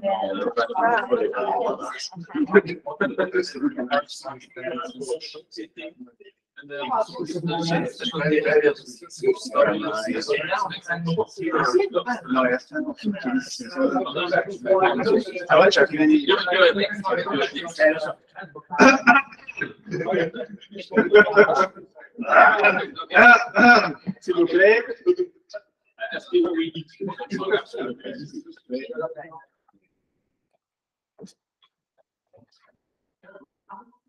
Ok, so, alors, on va continuer. Et entendu, on va euh, switcher en français. on switch, on switch au français, au français. Et euh, Euh, en fait, on a dû euh, interrompre à cause de problèmes techniques, mais ça m'a pas donné la- l'opportunité de remercier, il n'est pas là, Giuseppe Miscopo pour, pour sa euh, contribution qui était très, très, très intéressante et très riche et avec plein de questions. en fait. Euh, pour lui, ah non, il est. Je voyais que déjà arrivé. Ouais. Est pas bien. Euh, mais là, c'est aussi un plaisir de présenter Mathilde Manal. Euh, vous la connaissez tous, mais en tout cas, je vais, je vais parler un peu d'elle. Euh, elle, euh, elle a étudié euh, lettres modernes à l'Université de Sienne. De 2017 à 2020, elle a été allocataire d'une bourse Inspire. Inspire. Inspire. Inspire, Marie Curie, auprès de l'Université Sorbonne-Nouvelle, euh, Paris 3, où elle a soutenu sa thèse en interview comparée sur la poésie moderniste publiée chez, euh, la thèse, sa thèse est publiée chez Classique Garnier en 2023. Euh, de 2020 à 2022, elle a été à l'Université de Lille? Non, mais en tout cas, elle a, elle a surtout, je vais, euh, je vais me concentrer sur ses travaux les plus récents, la traduction de, à l'édition de la correspondance entre Franco Bottini et euh, Enzensberg, Hans- Magnus Enzensberg, euh, qui a paru chez Quod Libet en 2022, euh, et une monographie sur euh, Andrea Zanzotto euh, en 2021. Euh, Aujourd'hui, Mathilde va nous, parler de, enfin, le titre de cette introduction est Je peux parler, métalepse et voix off dans le miroir d'André Tarkovsky. Merci, merci à toutes et tous. Et s'il te plaît, euh, euh, sois violent et interrompe-moi si je parle pour trop longtemps. Donc, je suis euh, bien sûr très, très reconnaissante, mais aussi assez intimidée de parler devant tant d'expertes et d'experts en, en narratologie. Donc, je ne suis pas du tout à ma place dans ce domaine euh, passionnant mais labyrinthique. Et donc, ce que je vais faire, c'est plutôt de partager quelques questions euh, et pour ce faire, je vais reprendre une autre question qui m'était euh, venue à l'esprit lors du dernier euh, colloque de l'association Compalit. Francesco était là et on, on en parlait récemment. Et je me demandais, question très de, profane en narratologie, je me demandais si l'existence d'une œuvre de fiction romanesque implique l'existence plus ou moins implicite, bien sûr, de moins un narrateur, est-ce que euh, l'existence d'une fi- d'une fiction filmique l'implique tout autant? Et si ce n'est pas le cas, c'est-à-dire si on peut avoir des films sans narrateur, qu'en est-il de la métalepse Qui et comment s'immiche invisiblement dans le récit, sortant et rentrant à son goût des différents niveaux diégétiques? Il me semblait notamment que, à la différence de ce qui a lieu dans le roman, il est rare de trouver dans le cinéma des situations analogues à celles dont À la recherche du temps perdu de Marcel Proust est le modèle, c'est-à-dire de trouver des récits dont le narrateur coïncide avec un personnage d'auteur, ou plutôt dans le cas du film de réalisateur, qui dans le film nous raconte l'œuvre que nous sommes en train de regarder. Ah, je parle bien sûr de, de- de films de fiction. Un exemple proche, mais pas exactement euh, pareil, me venait à l'esprit déjà à l'époque, et euh, particulièrement la première scène qui s'ouvre par une prolepse à la fois illustrée et racontée par la voix off d'un personnage d'auteur, plutôt de critique littéraire, à vrai dire, de critique de cinéma, à vrai dire. Le film que vous connaissez euh, probablement est All About Eve, et euh, ce film commence effectivement avec les mots de Alison DeWitt qui euh, nous illustre la fin de l'histoire de la comédienne Margaret Channing que le film va ensuite euh, reprendre du début. Donc, en fonction du rôle que nous euh, attribuons à la voix off de David, on peut résumer celles qui me paraissent être les trois premières interprétations du rapport entre ce dispositif et celui du narrateur. Pardon, il y a une coquille, c'est Zmodin avec deux O, donc Zmodin, je pense, mais vous me corrigerez euh, éventuellement. Donc, première option, nous pouvons penser que la totalité du film qui nous est introduit par la voix off de David est prise en charge par un narrateur fondamental qui non seulement relate les événements, mais les a aussi organisés euh, en amont en leur donnant une forme narrative. Donc, cette lecture recoupe les théories d'André Gaudreau, de François Yost et de David Allen Black, entre autres, qui euh, veulent que puisque la, structure narrative est inhérente au cinéma moderne, fondée sur l'énonciation d'une transformation, eh bien, cette énonciation doit euh, prévoir une instance narrative implicite qui souvent se manifeste par le recours à, à la voix off, ici celle de, de David. Deuxième option, on peut aussi penser, et ce en accord avec les visions de Brian Anderson et de Sarah Kosloff, considérer David comme un narrateur délégué du récit, quelqu'un qui ne prendrait que le relais de certaines tâches, les mêmes tâches, à vrai dire, que le narrateur fictif à la Proust remplit en littérature. Donc, cela implique que le récit qu'il dispense puisse être analysé comme l'un des niveaux euh, diégétiques possibles, mais différent car verbal des récits que produisent le son ou les images. Troisième option, euh, qui, s'inscrit dans le sillage euh, de Smodin, et de Collet, le rôle de la voix off dans All About Eve consiste à donner un récit filmique une dimension subjective d'évite narrateur agissant comme une sorte de conscience qui filtre l'histoire et l'offre à son public à travers une focalisation précise. Donc là, on glisse plutôt du côté de la focalisation que non de la, euh, que non de la, euh, du rôle de narrateur. Mais on peut aussi euh, penser ou se demander plutôt si ces trois visions ne seraient pas compatibles et même présentes à la fois dans ces films qui ont une euh, portée métafictionnelle explicite et qui questionnent, parfois dénoncent même, l'aplatissement du récit filmique sur le récit littéraire. Donc, je vais essayer de sonder cette possibilité d'interpréter la voix off comme un concept euh, intersémiotique pour mesurer, utile à mesurer l'état des relations entre littérature et cinéma à certaines étapes de leur histoire. Et je vais le faire à l'aide d'un film d'Andrei Tarkovsky, euh, donc un réalisateur russe qui me semble très peu étudié sous le prisme de la narratologie, mais là aussi je pourrais me tromper, et qui pourtant dans ses pellicules des années 70 n'arrête pas d'interroger la question du narratif au cinéma. Et donc, euh, est-ce que les très nombreuses voix off qui sont présentes dans ces films euh, sont à considérer comme première option, et je reprends les trois, les trois hypothèses que je, que je viens d'évoquer, est-ce qu'elles sont à considérer comme les traces d'une instance euh, narrative, euh, d'un méga narrateur implicite qui se mêle quand il veut à son propre récit. Est-ce qu'elles sont à considérer, deuxième option, comme l'expression d'un des plusieurs niveaux diégétiques présents dans le film? Ou bien est-ce qu'elles sont un moyen de questionner la légitimité même du rapprochement entre fiction filmique et fiction littéraire? Donc, je vous prends un seul exemple, le miroir. Et pour le moment, je dirais que le miroir raconte et est raconté à la fois par Alexei. Alexei est un cinéaste, il est frappé par la maladie, il ne s'entend plus bien avec sa mère, ni avec son épouse, ni avec son fils. Il est dans une situation de détresse et cette situation l'amène à se souvenir de sa maison d'enfance, de sa mère quand, quand elle était jeune, de la manière dont leur père, un poète comme le père de Tarkovsky d'ailleurs, les a abandonnés, ainsi que d'événements divers euh, liés à la Deuxième Guerre mondiale. Or, le problème, c'est que tout cela, euh, personne ne nous le dit.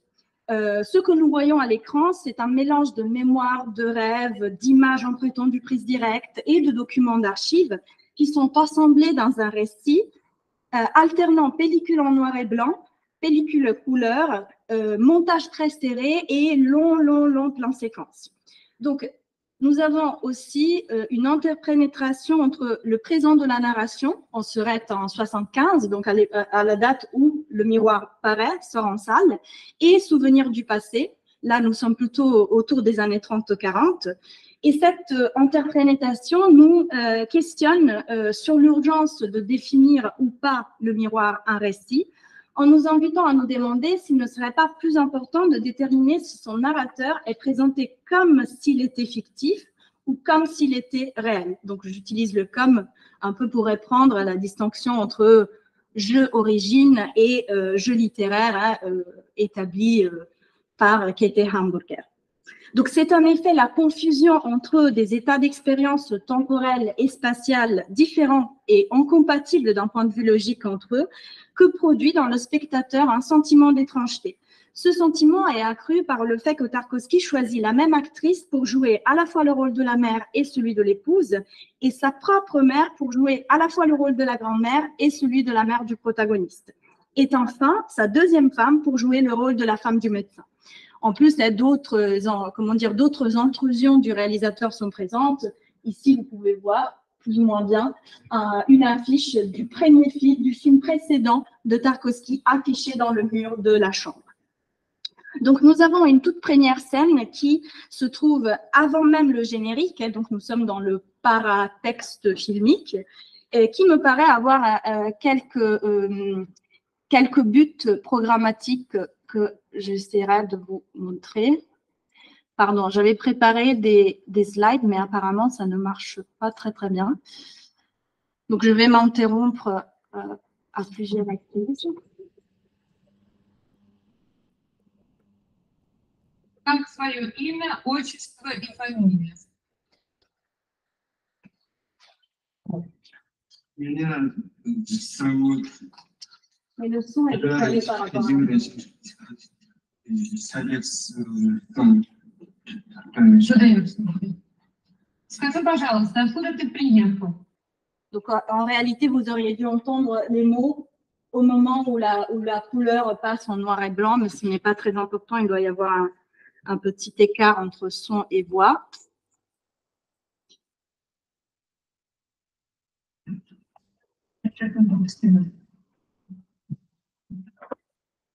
Сосредоточь все внимание на моей руке. И ты почувствуешь, что моя Vous рука voyez, тянет là, тебя nous назад. sommes dans une scène à peu près documentaire, ou avec un effet documentaire de hypnose pour arrêter le bégayement de ce, de ce jeune homme. Je vous montre juste la fin.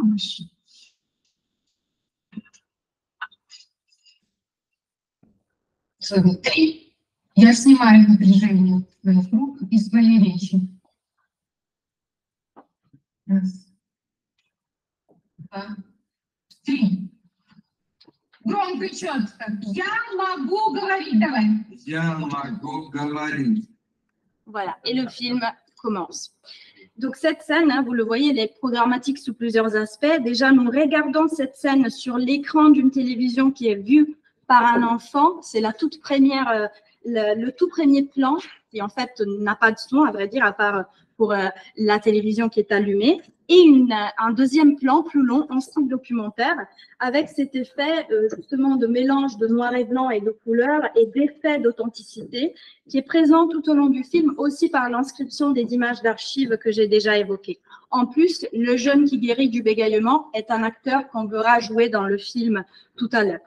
Donc, dans, la plupart des films, la voix, euh, le dialogue, mais la voix aussi aide à réduire l'ambiguïté des énoncés visuels. Eh bien, la particularité du miroir consiste dans le fait qu'il renverse ce présupposé, puisque au long du film, nous n'apercevons jamais le corps d'Alexei, donc du narrateur, du prétendu narrateur. On ne le voit qu'enfant, et quand il est enfant, il est presque toujours muet, mais on ne le voit jamais adulte dans le film, ni nous sommes certains euh, que la focalisation reste sur lui tout au long du film. Sa voix est, cependant présente tout au long de la pellicule, mais euh, ce qui est intéressant de remarquer, c'est que cette voix off change de statut au fil des séquences. Tantôt, cette voix off prend le rôle du narrateur, donc d'Alexei adulte qui se souvient de sa vie. Tantôt, elle prend le rôle d'un personnage, Alexei jeune qui parle d'une autre pièce qu'on ne voit pas. Tantôt encore, celui de l'auteur. À la fois Tarkovsky et le père de Tarkovsky, Arseny, un poète, dont les poèmes sont lus à plusieurs reprises dans le texte, mais qui se confond aussi avec le père poète euh, du protagoniste. Donc les autres personnages, de plus, s'adressent très souvent à cette voix off, lui répondent quand elle parle, réagissent et même parfois laissent penser que par leur position, qu'un autre corps serait présent dans l'espace, mais on ne pourrait pas le voir. Donc ces trois voix off, disons pour simplifier, voix off du narrateur, du personnage et de l'auteur, euh, sont, sont, sont rapprochées par un trait de caractère, c'est la défaillance de leur mémoire. Et c'est pourquoi on peine à les identifier avec une seule instance narrative omnisciente. D'autant plus que ces voix ne relatent pas exactement d'une transformation, comme le voudrait la grammaire du récit. Elles s'immichent à l'action, la découvrent, la produisent, la commentent, mais elles ne sont pas censées l'avoir organisée en amont. Et d'autres procédés euh, plus strictement filmiques le laissent penser, par exemple le fait que les coordonnées euh, géographiques et temporelles données par la voix off sont parfois contredites par les mouvements de la caméra, ou alors par le fait que si le travelling installe le décor, on a aussi un autre type de mouvement que la voix qui se rapproche ou qui s'éloigne euh, du microphone euh, nous laisse penser qu'il sera, euh, serait mené. Donc, je vais vous montrer encore quelques scènes en essayant d'être le plus rapide possible avec des types de voix off différentes. Là, c'est la toute première scène d'après le générique.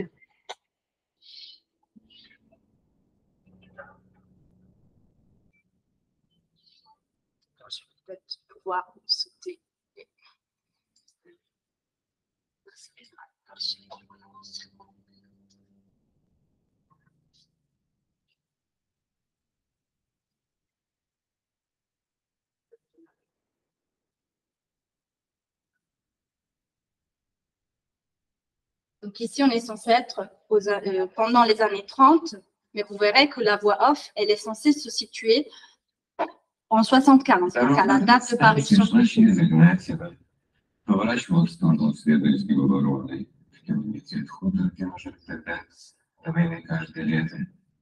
И через глухой дубовый лес уходила дальше, на Таншон. Обычно своих только тогда, когда они появлялись из-за широкого куста, возвышающегося посреди поля. Если он от куста свернет в сторону дома, то это отец. Если нет, то это не отец, это значит, что он не приедет уже никогда.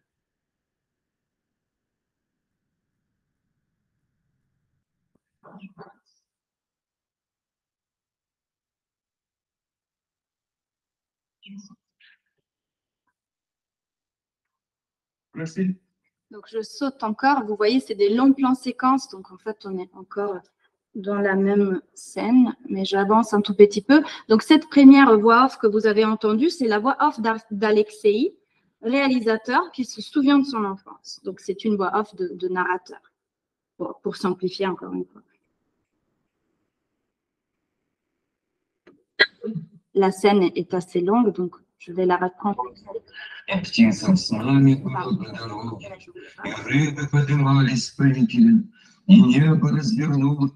Excusez-moi, mais j'avais tout noté dans le, dans le PowerPoint, donc c'était tout ici.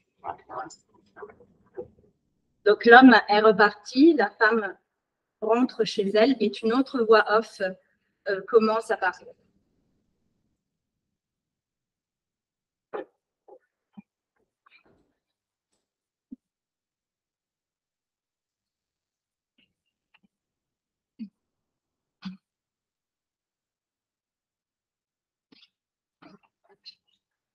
Свиданий наших каждое мгновенье Мы праздновали, как богоявление Одни на целом свете.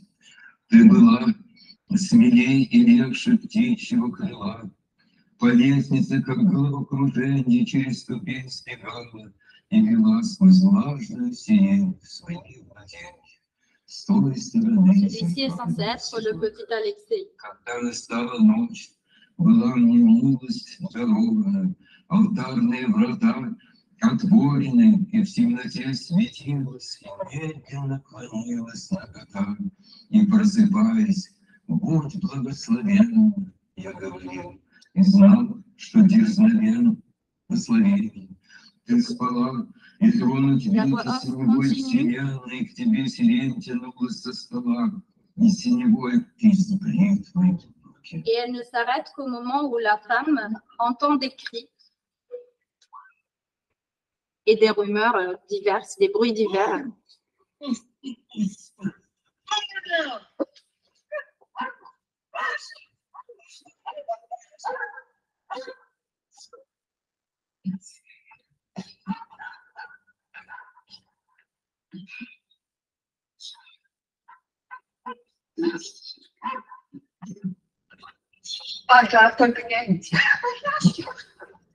Voilà, donc là, vous avez un autre type de voix off, c'est la voix off qui, avec un ton solennel, récite un poème d'Arseny Tarkovsky, le père poète du réalisateur, mais peut-être aussi dans la fiction filmique, le père poète d'Alexei. Donc la première voix off ajoute simplement un niveau diégétique à celui illustré par l'image.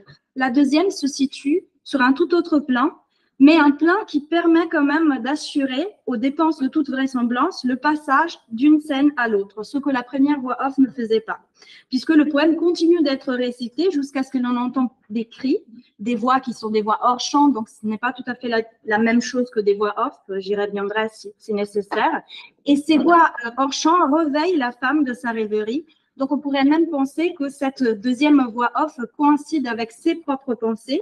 Mais dans ce cas, est-ce que cette voix off est à l'intérieur de l'image, au sein de la conscience du personnage, ou est-ce qu'elle vient encore d'un autre niveau diégétique, comme je le proposais en première, hypothèse? Je vous montre encore une dernière scène. Qui, en fait, vous le voyez, à vrai dire, je vous montre la toute première partie, je saute des éléments, mais je ne suis pas en train de sauter des scènes, c'est juste des parties. Et là, euh, la scène se termine par l'image la plus connue euh, euh, du miroir, l'image de l'incendie de la Lancia. Une image qui reviendra dans les films de Tarkovsky et même dans son tout dernier, Le Sacrifice. Et ça, c'est la, troisième scène que je voulais vous montrer.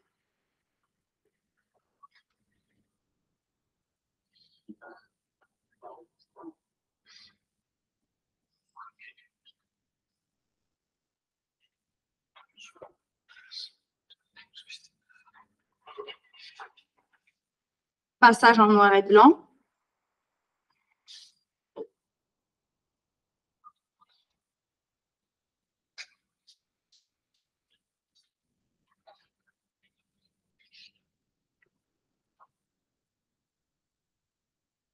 Et passage en noir et blanc, mais avec euh, une image aplatie. Il y a tout un, travail sur la profondeur aussi qui, change. Je, je, suis désolée, je pense que vous voyez vraiment très très peu de l'image.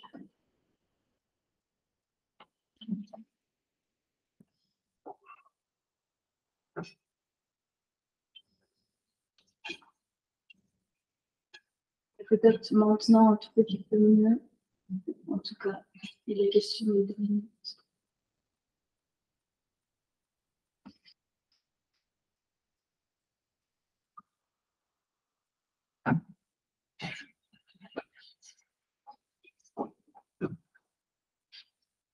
Vous voyez aussi, les images sont au ralenti dans cette, dans cette scène, aplaties. Les sons sont aussi en décalé.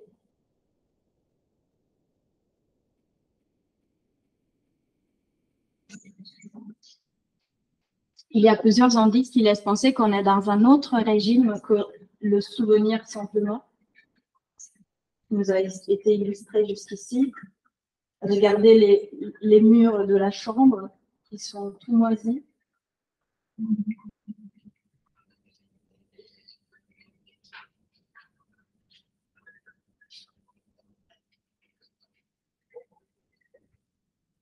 Et je vais sauter encore.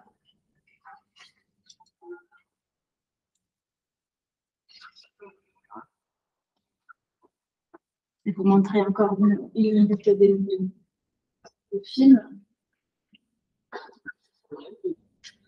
Donc jusqu'ici, il n'y a pas eu de coupe, on est dans la même, dans la même. Là, il y a une coupe, une image de main brûlante.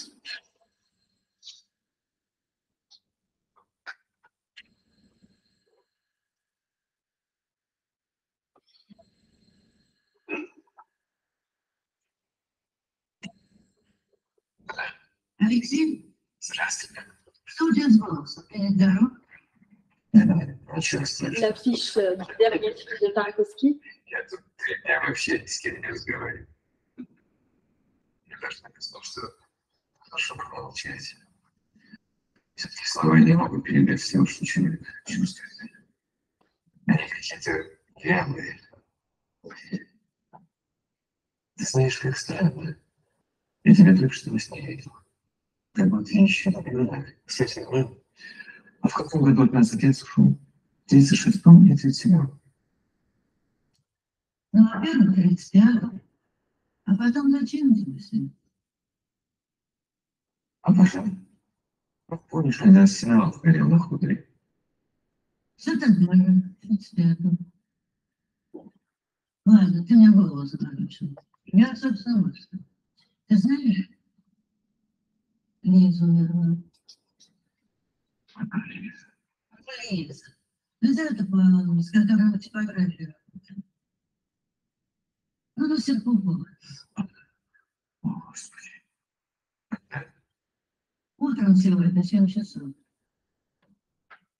А сколько сейчас времени? Сейчас узнаю. Что? Около шести, наверное. Утром? Что сказать? Нечего. Слушай, ну... Donc, trois, éléments à souligner dans cette euh, troisième voix off. D'abord, Alexei parle d'un film, d'un film qui lui paraît euh, euh, bien abouti. Il ne veut pas en dire plus, mais il est très probable qu'il parle du miroir ou d'un film qu'il vient de terminer de tourner en 75. Euh, et puis, il demande à sa mère des renseignements. Il lui dit J'ai rêvé de toi. Donc, probablement, la scène que nous venons de voir en noir et blanc est le rêve qu'Alexei vient de faire. Ce sont des suppositions, puisqu'il il ne le dit pas. Et ensuite, il lui demande Te, te- te- te sou- te souviens-tu pardon, euh, de l'incendie de la dacha Donc, la scène que nous avons vue avant le rêve. La mère lui rappelle en quelle année ça s'est passé et puis lui donne une information sur ce qui vient de se passer, c'est-à-dire la mort d'une personne de leur passé. Et en ce moment, elle lui donne aussi des coordonnées plus ou moins précises sur le temps présent, sur le présent de la narration. Donc cette scène, composée à vrai dire de deux actions que je vous ai montrées, elle est assez nécessaire à toute lecture narrative du film parce qu'elle nous présente le chronotope du rêve et de la mémoire qui vont se retrouver euh, tout au long du film et qui sont toujours au ralenti et en monochrome et avec ce jeu de décalage du son et aplatissement de l'image. Donc, cette voix off, la voix off au téléphone qui relate du passé mais parle au présent de la narration, elle non plus, on ne saurait pas où la, la situer. Est-ce qu'elle vient de la chambre que la, la caméra est en train de nous montrer Mais alors, quelle est cette chambre et dans quel rapport est-elle avec celle qui hébergeait le jeune Alexei?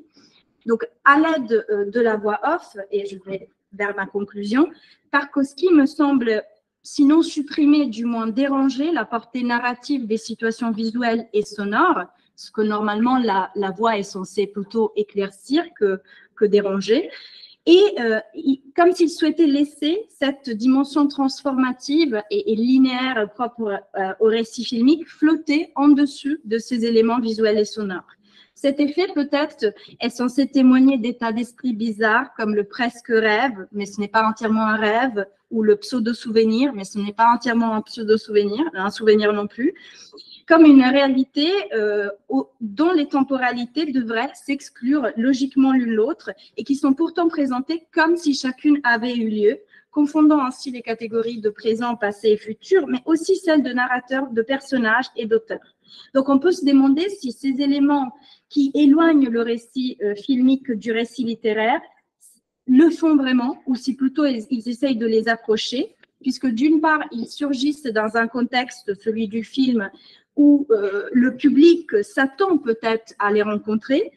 Euh, peut-être que Tarkovsky essaye de, de décevoir quelque part les attentes narratives de son, de son spectateur euh, pour mettre en évidence des structures qui sont, à son avis, propres à l'univers filmique donc à un univers autre que celui de la littérature. Et donc, dans cette optique, ces stratégies euh, de métalepse par voix off serviraient à mettre sous pression, quelque part, les lois et l'imaginaire que nous avons d'une fiction cinématographique. Ah, Je dirais plutôt l'imaginaire que le spectateur a de, ce dispositif que non peut-être ses propres lois. Donc, euh, ma question euh, pour, pour terminer, euh, c'est la suivante. À part pour les indices extraverbaux que je vous ai présentés, le virage en noir et blanc, les plans séquences au ralenti, qui sont d'ailleurs des dispositifs que vous trouvez aussi dans d'autres films de Tarkovsky, dans des films de Tarkovsky de science-fiction, ou alors il y a bien sûr d'autres conventions aussi qui sont en place. Est-ce que, à part pour ces indices extraverbaux, il est possible de distinguer dans ce film ou dans d'autres de Tarkovsky les voix off métaleptiques, donc celles qui rompent le cours de la diégèse en nous présentant un, pa- un paradoxe euh, logique, de celles qui restent au sein du même niveau narratif ou d'un autre dont on peut imaginer qu'ils seraient présents dans, dans la fiction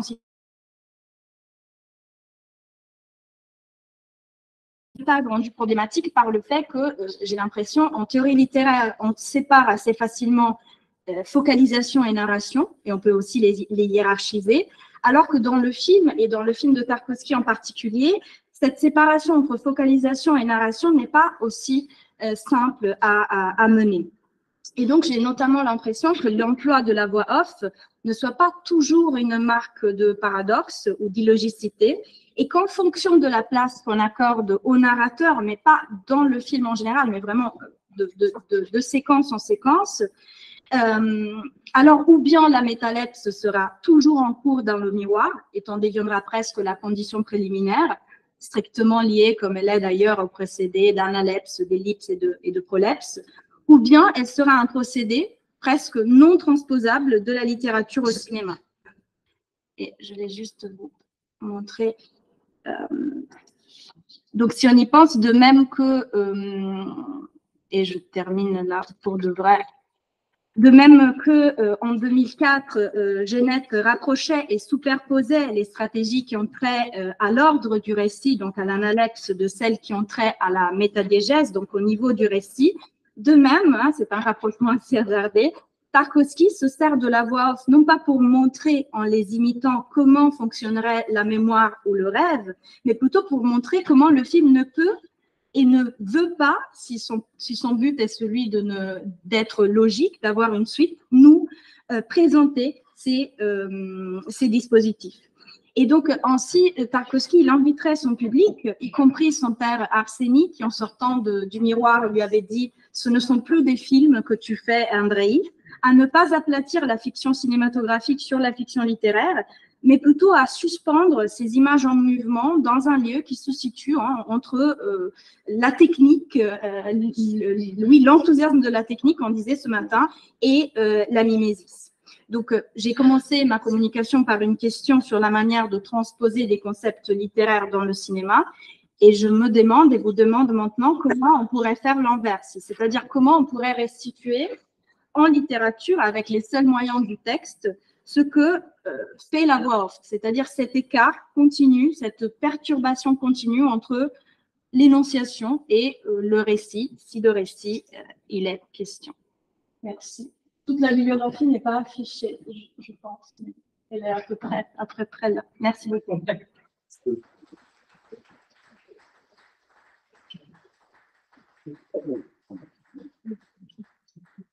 Super. Merci beaucoup, Mathilde. J'espère que vous n'avez pas trop dépassé. Non, non, non, juste euh, une vingtaine de minutes. Ah, non, non, non, c'était impeccable. Euh, donc, euh, je crois qu'on peut commencer le Q&A. Uh, maybe Giuseppe, join us at the table? Uh, merci beaucoup, Mathilde. That was very, very good. And uh, I think it was interesting to have a look at different media as well after we discussed, uh, I think Jarmila, I hope you're still with us. Uh, maybe if you can turn your camera on again. Yeah, yeah. Oh, fantastic. Thank you. And uh, so we had a couple of talks on um, radio and radio dramas, and then we moved on to the very uh, narrative kind of cinema, but at the same time, very, uh, sorry, lyrical kind of uh, cinema that is the cinema of uh, Andrei Tarkovsky. And uh, I'm sure we have loads of questions. I, I just want to ask you a very quick thing, because you probably said that, uh, but um, one of the Una delle voci che uh, sentiranno.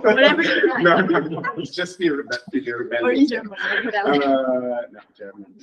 Um, one of the voices that we actually hear in the in the film is the voice of the father of uh, Tarkovsky, right? Because I don't know if you if you mentioned that. I think I. Poems are from his father. Yeah, but it's the voice actually his as well. Because I, The one that. I, I seem to remember that, but I don't. Yes, I actually, I'm not quite sure about it. It, it mm-hmm.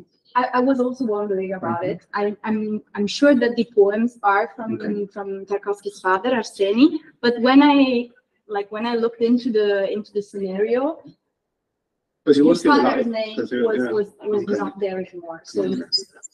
but the, the, the, the voice is the problem issue in Tarkovsky's movie is very complicated. Like with Solaris as well, we have the Italian uh, version with Pasolini's voice. Uh, um, um, um, and and it's it's very complicated. So I might have I might have uh, like read something wrong about it.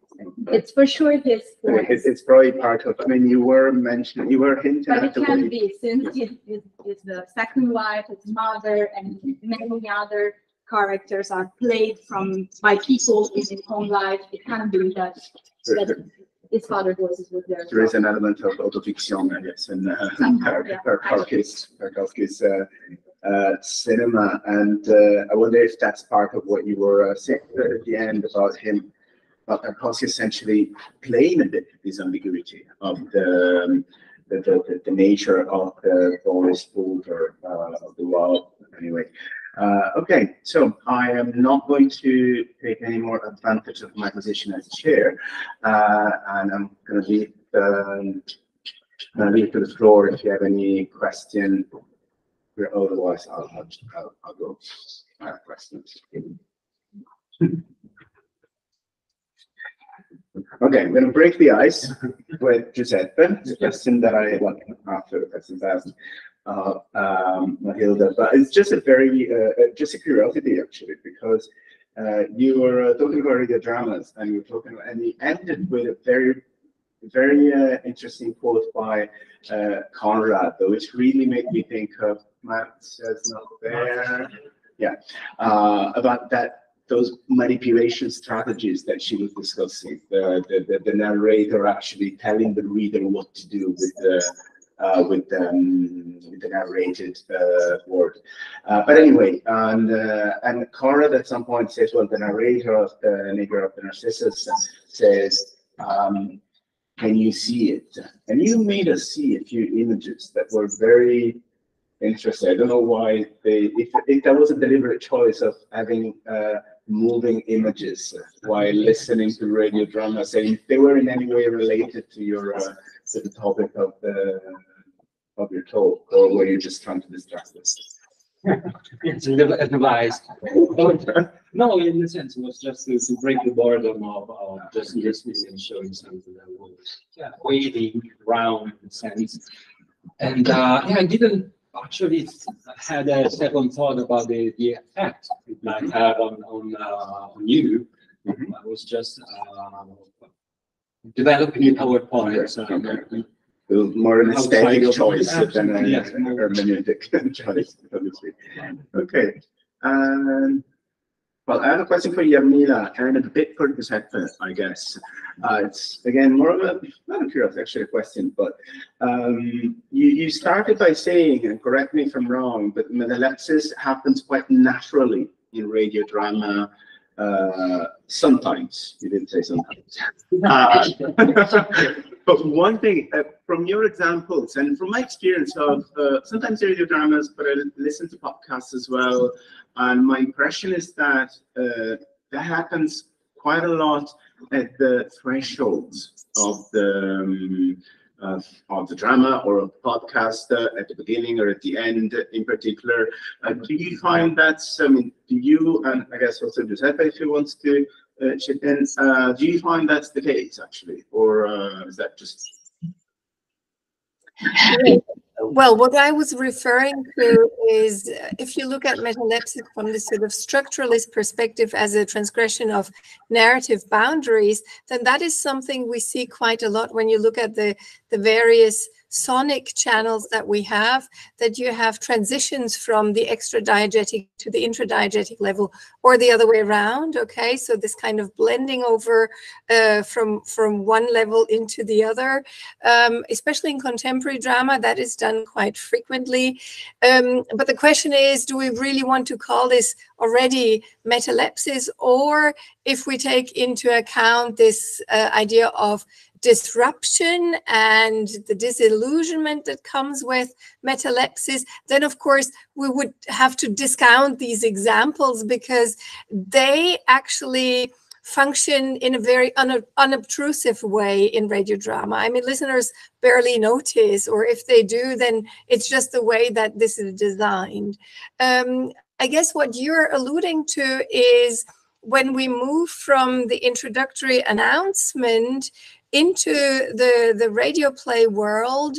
Uh, and here we indeed often see interesting or hear interesting um, uh, yeah transitions or mixes of levels because oftentimes at the moment when say an announcer still relates what's to come we already have music come in. We already have um, a certain sonic tapestry that begins uh, and likewise in the end you know the the fading out where you usually get the list of actors and producers and everything um, th- that can be tied into the ending of the the actual radio play. So in that sense we do have interesting um, fusions or mergers but again do we want to call them uh, metalepsis or is it just an aesthetic playing with you know the possibilities of sound that you can actually have those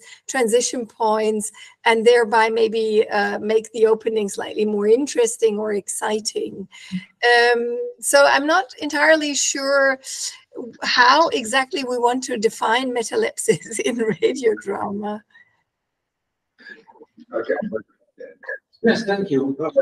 Uh, Thank you. The War of the Worlds is actually divided in two parts. So the first one, which is the most memorable one, because that's where uh, we have the presenter that introducing uh, Orson Welles as the the director of, of the Mercury Theatre. Then he goes on and reads the part of the of the beginning of um, of, the, of the actual Orson, uh, H.G. Wells. Uh, Justin makes another thing which is quite significant in there. He puts us in the context. Uh, so that he says by the end something like, today at this moment there are several millions of, of listeners. So we are again I'm using that expression that I use in, in my paper. We are swallowed into this world in there. And uh, I didn't know about how what, interesting maybe also to mention that all the effect that it had on audience is because radio is doing radio. So it's doing the, the, the things that every normal afternoon, Sunday morning program would do. So ballroom, music from the ballroom downtown in, in, in New York.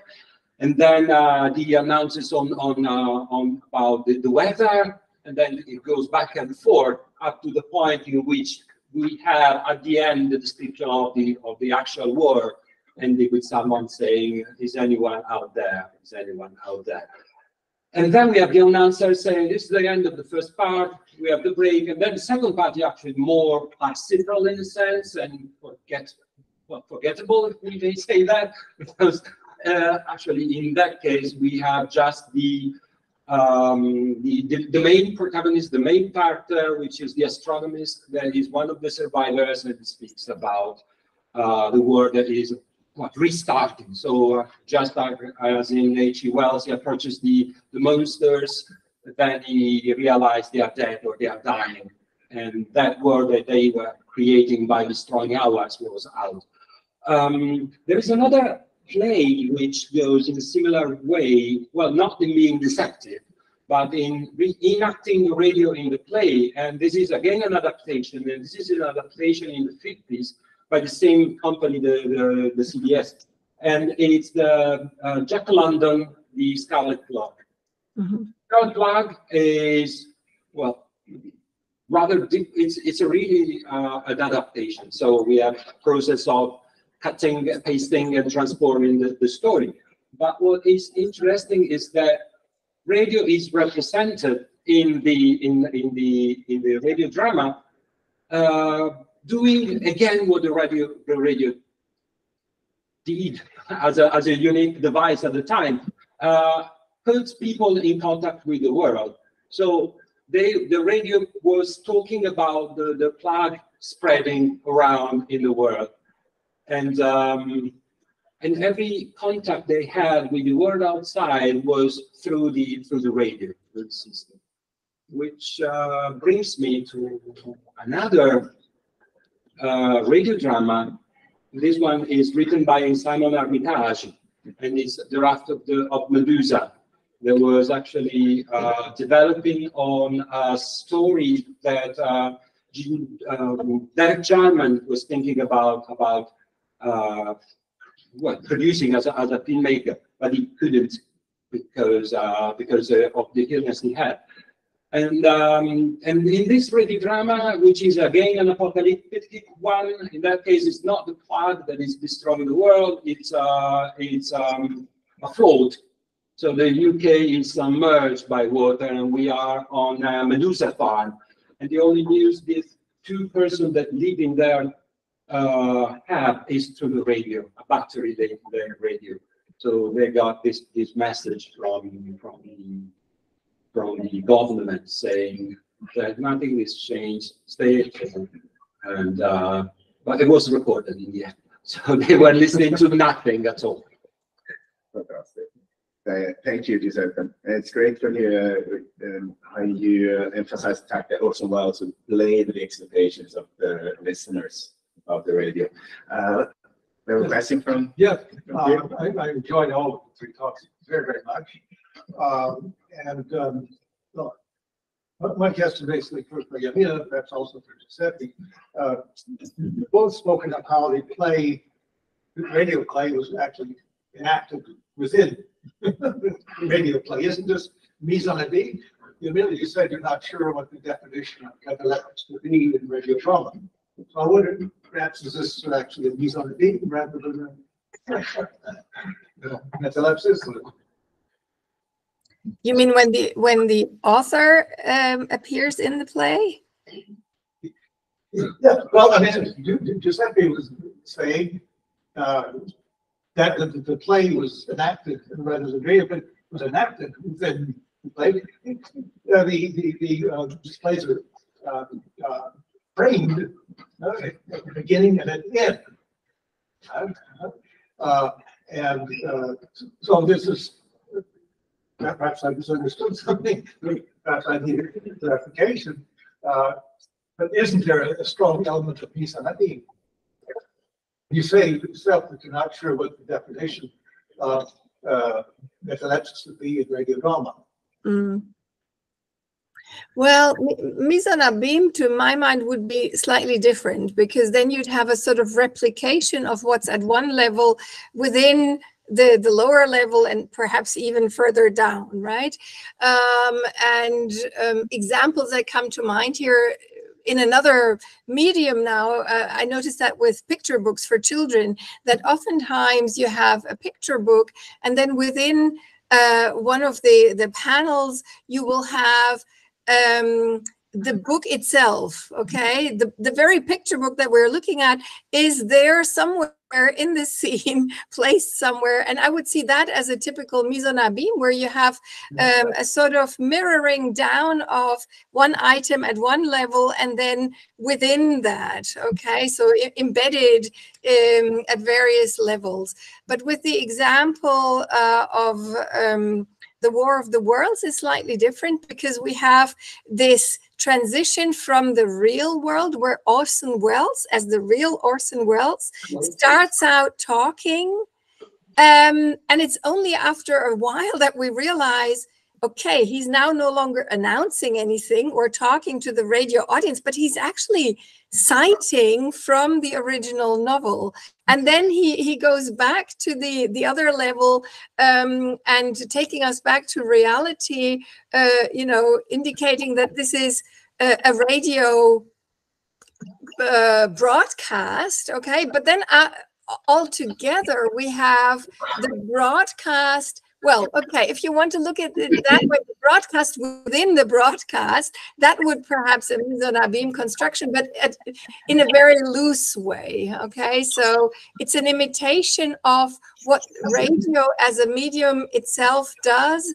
Um, and this is then exploited to create a, a very strong illusion about what listeners are hearing, okay? The illusion that what they're listening to is not a constructed radio play, but just a regular radio program that has all these different elements that I mentioned earlier, and that Giuseppe also mentioned that we have this news anchoring and breaking news, and then we have music intermissions and so on.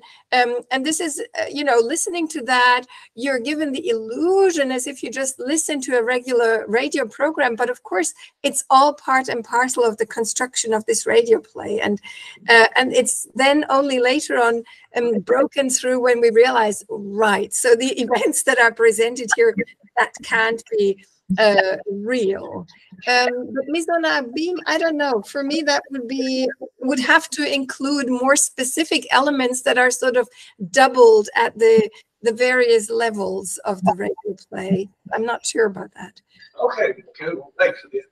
And then just one other, it's I particularly like also the, uh, uh, the, uh, décalage, as you can see, between the, the well off and, and the non, uh, verbal elements there. I think it's extraordinary uh, example of, the pronunciation of that. Thank you. Really, the spatial temporal world of the voice and the, and the And then you have other elements. the, the images are uh, disconnected, and I think that's terrific. Thank you. Thank you, but that's a very, a very strong element of Tarkovsky's movies. Yeah, All along his career, he's very much uh, thematizing the problem of like uh, also of natural temporality and technical temporality in a way that he tries to sort of uh, create um, an illusion of natural temporality by showing at the same time very explicitly Yeah. that he's doing it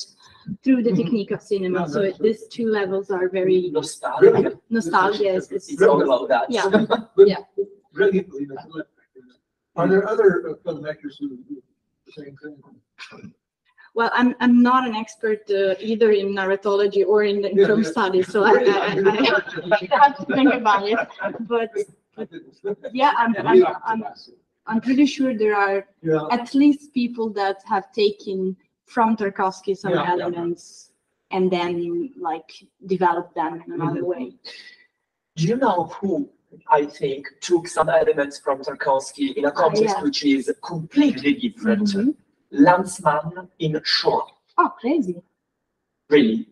Real. Yes. There are some sequences in Shoah by Lanzmann where you can feel the potation and this idea of shaping time through a very specific representation of space. It's all about how to say a present which cannot be present anymore, but in a way should remain present in the um, memories of those who uh, experienced the- such a tragedy as the Holocaust. So the, oh, the entire movie is about how to find a way to play with temporalities and to describe a present, un présent qui n'en finit pas de finir. Et donc, qui se réactualise sans cesse. And, and there's a potential, there's an image, a very specific image where you can feel the quotation of Tarkovsky, which is of course a beam because you cannot say you're quoting Tarkovsky if you're doing something like Shoah, at least until the end of the, the 90s. And then when, when you can say it, you don't want to say it anymore because you're Lanzmann, but you can see how Tarkovsky was important in that work. That's super interesting also because like usually we connect Tarkovsky to, uh, for example, Lars von Trier, his like first example I have in mind, but this is a very, yeah, that's also a very like easy way of Yes. or imitating. In Lanzmann, you have so many other like other yeah goals also to achieve and the the voice of question or the voice of issue is also very present but in another like there i i feel uh more of a there's a there's a concept in in literature and in philosophy i'm not very uh, acquainted to is acousmat Of course. and this way this idea that also in ancient philosophy you used to uh, to take classes philosophy classes from philosopher in pythagorean philosophy uh, at least from philosopher you you would never see you would never see them but you would take their um, their knowledges and their teaching without, like, but only by listening. And this tradition has, has been developed very much and very much in the way of documentary and témoignage. Uh, uh, Of course. art. And, and also what, what you're saying, in my opinion, is really important because in, in, in, in Shoah, for example, there's another thing, you cannot identify who's speaking. Yeah, yeah, and you have a, a variety of voice off in, in the movie. So there, and that's also really, really interesting. Um, yeah, but if I'm not mistaken, a colleague of yours, uh, Malcolm, Si, wrote si, a I very interesting it. essay I quoted about it. that. Of course, she's one of my best friends. Okay. because I, I Yeah, yeah, I, I read, I read her, that I read her, in the recent her times, so- actually super interesting. She, Okay. she's the one who. She- who, she's like, the one who passed told me you the- about the concept. Okay. At least the Akusmaki one. No, and and she's all, she's also a, a very interesting scholar in in uh, in a perspective which was your perspective Yeah. today because she tries to use um, a variety of notions taken from uh, movie um, Studies. discourse, movie studies to try to see if you can apply it to literature with the same terms or categories, and then she goes back to movies after having uh, uh, mené des enquêtes dans le cadre littéraire. So it, it's really interesting what she does, especially with hors champ. Yeah. But not only with that. No, Uh, no, and your example is really, really in. Okay. Oh, I, yeah, and I wonder if we can find other examples in the Nouvelle Vague. I mean, you can uh, think about Godard in particular, especially the Histoire Histoire du cinéma, and the Chris Marker. Um, I, I think if you're looking for examples in the analysis, I would say that I think is probably the way, the way to go.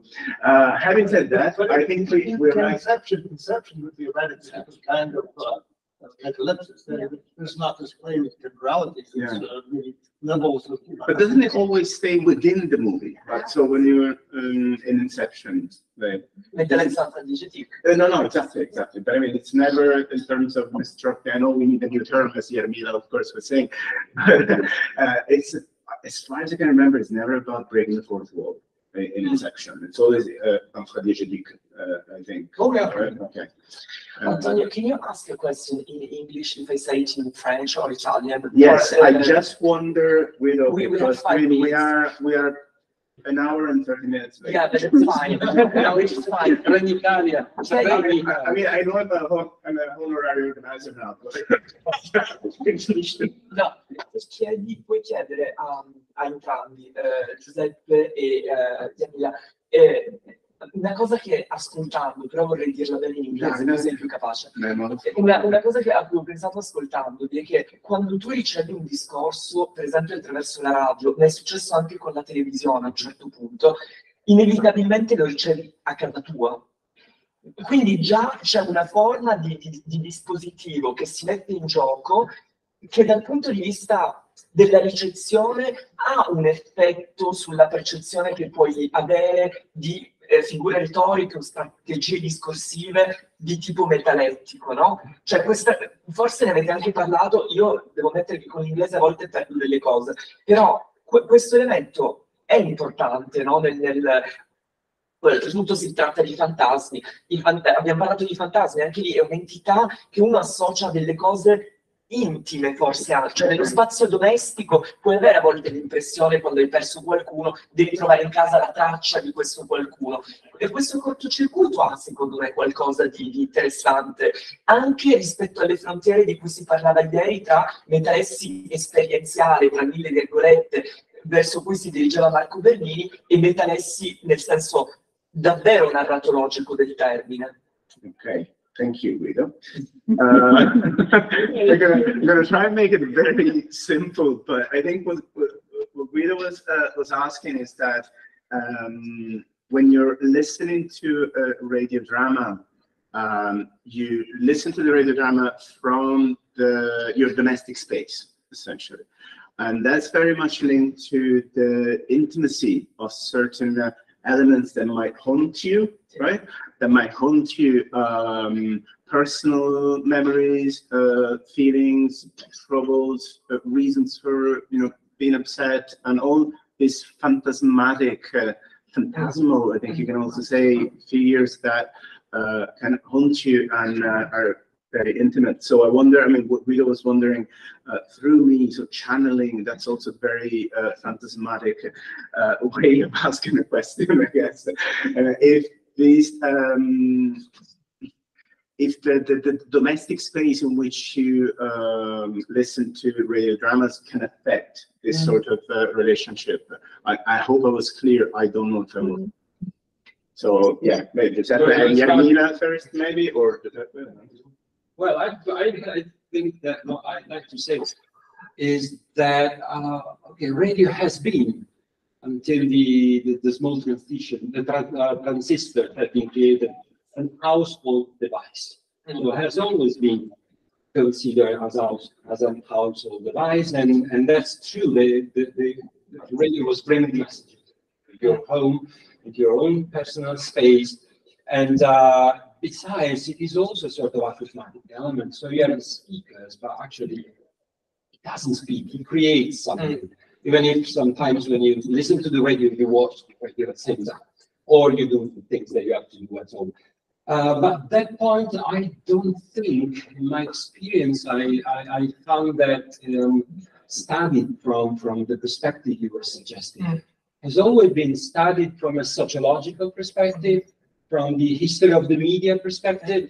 Uh, so that's why I wanted to uh, to to, uh, to answer first, so that I know from Jarmila that the topics will go there farther on. was, there was actually a reason for being rude.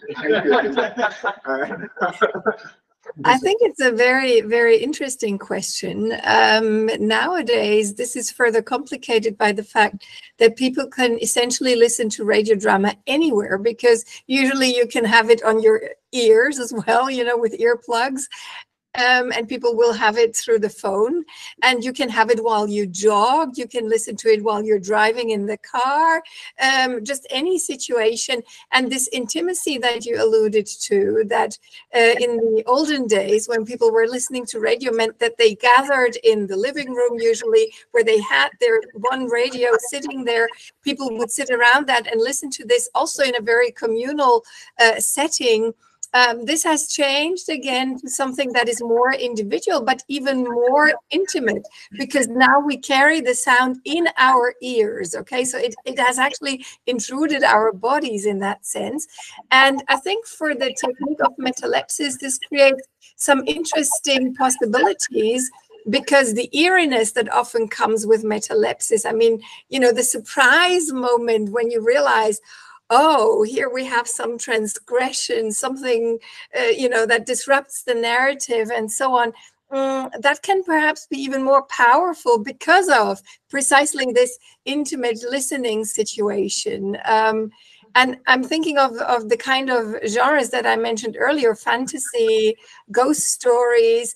Um, these things are really used to great effect, and, and part of of the effect that's created has something to do with this intimate listening experience okay the the audio positioning in your head um, and uh, yeah so i think that's really a very important question Fantastic.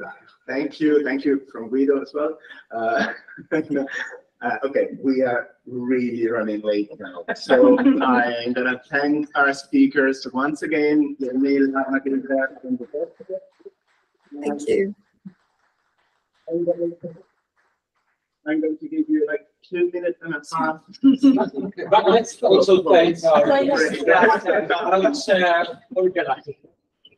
Ciao, Jarmila. Ciao. Thank you so much. Thank see you. you see you tomorrow Thank you. bye Grazie Antonio. Però ci dovevo prendere per il volo. Cazzo di- No, ti avevo detto che ti avrei fatto un regalo. E ne avevamo parlato.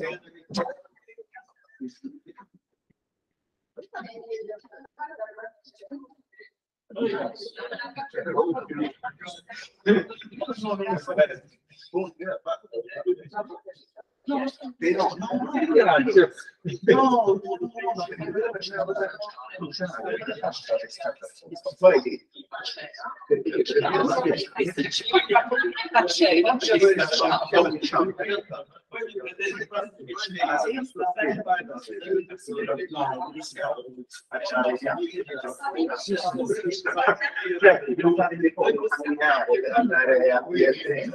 e quindi pensavo che si fatta cioè volevo dire questa cosa qua perché numero vita è importante perché in dove in questo scopo che sono questo è vero se non quando hai qualcos'altro che puoi fare se non viene da questo no, no, si siede si siede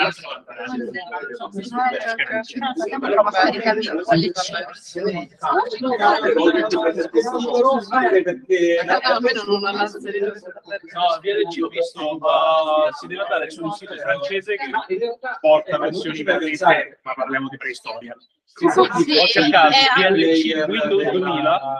io provo a scaricarlo Il sito francese che scarica la... Vabbè, non lo uso da, da allora. Però praticamente funziona in questa maniera, cioè mi dà una, una cosa per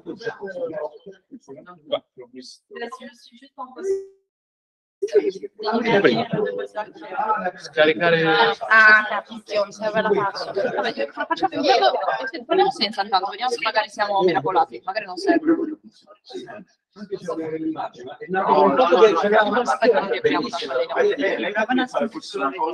lettura del file, allora, abbiamo detto, con la collana.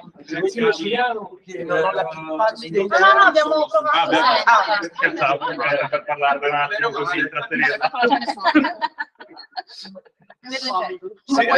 Dai, dai. Combatti. Ora Beh, il famoso sito che Eh. vi dicevo, non stavo scherzando. Ci crediamo, ci crediamo. Ho paura. Vabbè, Eh, però, però l'ha caricato. in Windows Vista ma c'è diverso da questo. Eh, infatti, quindi questo sarà secondo me un 7 o un 8. di- Eh, sì. Può essere eh, eh, vagamente la memoria. No, sotto ha già la... la Sì. È il 7. No, allora Eh, non è sette. Ah! Cosa Ah, ce la puoi, io credo in te. Ok, Oh. giochiamo. Ah, eh, dai. No, aspetta che stai spoilerando tutto tutti, eh. No, non ce ne sono. Eh, Aspetta, aspetta. Aspetta. Non lo so, non so se abbiamo Ho tutta la sua calma, però già fatto che mi stai dicendo che c'è è un enorme problema. Però sì, ci sta mettendo un Eh, Tanto abbiamo tutto. Sì, esatto, questa Esatto, cosa mi mi- mi- a mi- cena alle mi- 11 è comunque tutto che si può fare. Eh, tutto bene. È andato? visto- È andato? È andato? Ok, È ah, andato. sì, è andato. Voglio vedere per curiosità, però la, la- fammi vedere qual è il, più- il meno pesante. dei- Ah, via quel Ma ci preso metteva- proprio ci quello più pesante. tanto ad aprirsi. Eh, proviamo il VMV, che non, che non pesa niente. Come ha fatto a alimentarsi il peso? In realtà sono stanno cercando Comunque, un frame al secondo. Ah, già meglio di prima. Però già meglio di prima. Adesso mostra. Fra. Schermata con la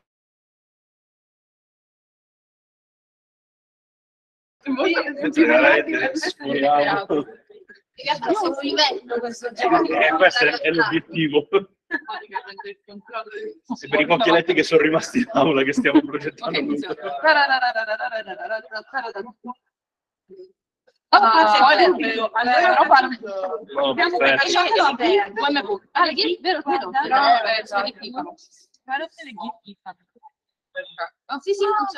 però lente, ma gifano. Vabbè, Eh, va, vabbè, va. va bene, va bene. meglio di stamattina, Sì, eh, esatto. perché rimaneva una flash flashata. Appunto si capisce.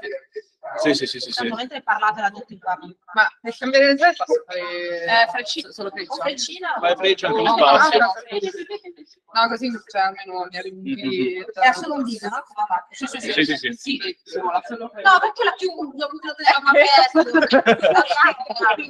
Ma tanto, ma cosa hai fatto a prendere l'entusiasmo? Non volevo Non giochiamo troppo sulla... Eh, chiudiamo icona. Non c'è. A posto. Uh, boh, la cartella la lascio nel caso, questo non c'è. Ah no, quello ci sta. Vabbè, sì, esatto. esatto. Era già una merda. Ok. Risolto. Eh, dai, eravamo felici. Ci portiamo avanti coi tempi. Era l'unica cosa di cui non ero preoccupato. Spaziale, perfetto. Veramente. Un po' te, facciamo tutto al contrario. Mamma mia, me l'hai, resumato. Io avevo dimenticato. Esatto, anch'io, per adesso ci ripenso.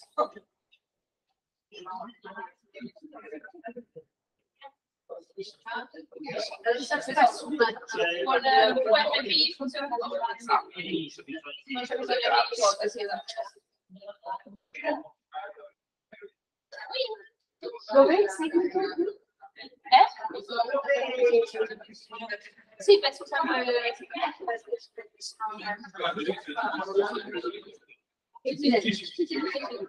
Io non metto niente. Esatto.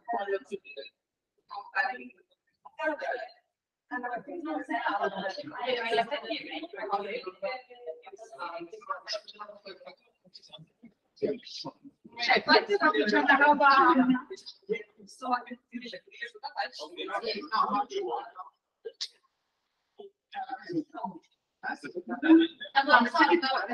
Só o problema. Ah, não. Ah, é. separati. No, purtroppo se sei sono i venti neri lo si sa non puoi scaricare. So, io non mi convivo. Ci siamo da qui.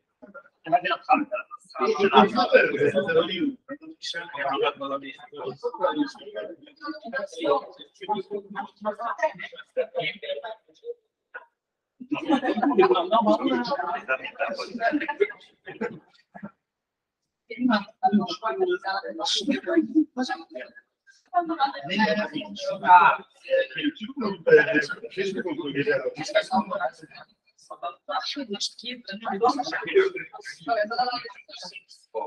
No, you. forse banalmente perché si ha è vero, io volevo solo questo di essere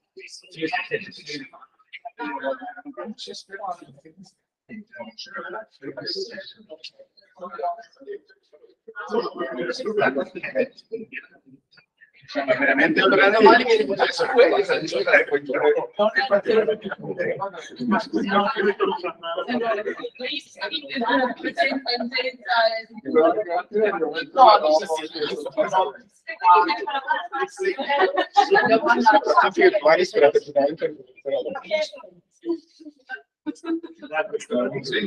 Ma lei non è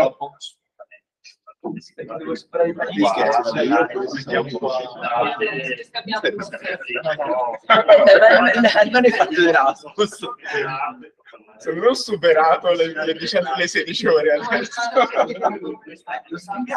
Faccio il foglio e timbro. Guido? Faccio moderare il Guido, stai giocando col fuoco. Cioè, così sono presto a fare le domande invece. Vedi che, bella, che bel dialogo che c'è stato con, con lei e, e con Giuseppe e con Matilda. Bella. Io ho è stato domande Ci vuole per un momento questa chiavetta o- Sì, sì, sì, penso di sì. Chiedo solo di chiudere anche il PowerPoint, dovrebbe essere ancora aperto, devi dare un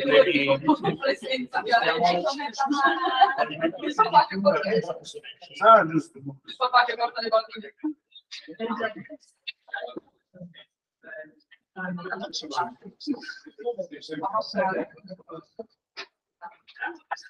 Quindi per domani a posto. Domani sì, ma poi, poi però devo andare a festival perché devo moderare qualcosa anche È una, guarda, è, è una, una carriera che devo cercare. Poi comunque sono una persona molto moderata. Ecco, per, per, per farti per, far, eh, per ricompensarmi, ritwitta tutto quello che ho twittato negli ultimi dieci minuti. Per 15 giorni.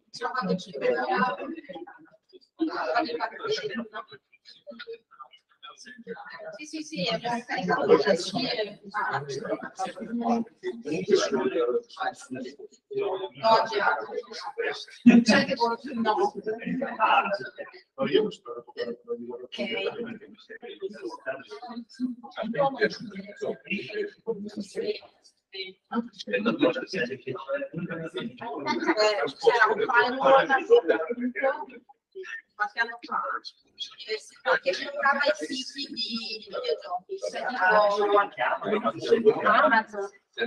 E questi erano tutte, cioè c'erano dei portali di informazione che non potevano essere realizzati, erano standard.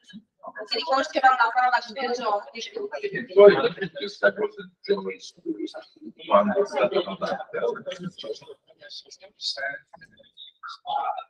Andiamo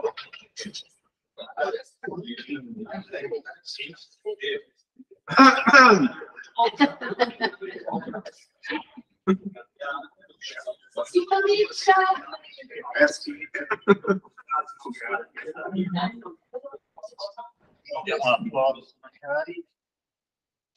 Italiano, no? Sì, sì.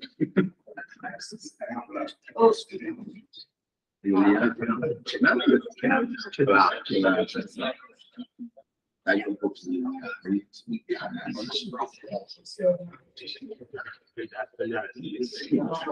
C'è una parte centrale che è quella più interessante, quella per la delle notificazioni, come c'è inizio e fine. Eh, bello.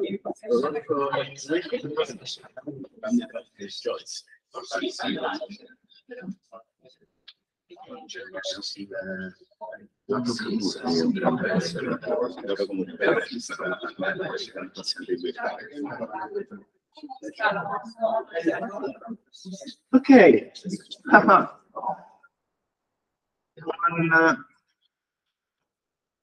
Buon, buon pomeriggio, sono ancora qui.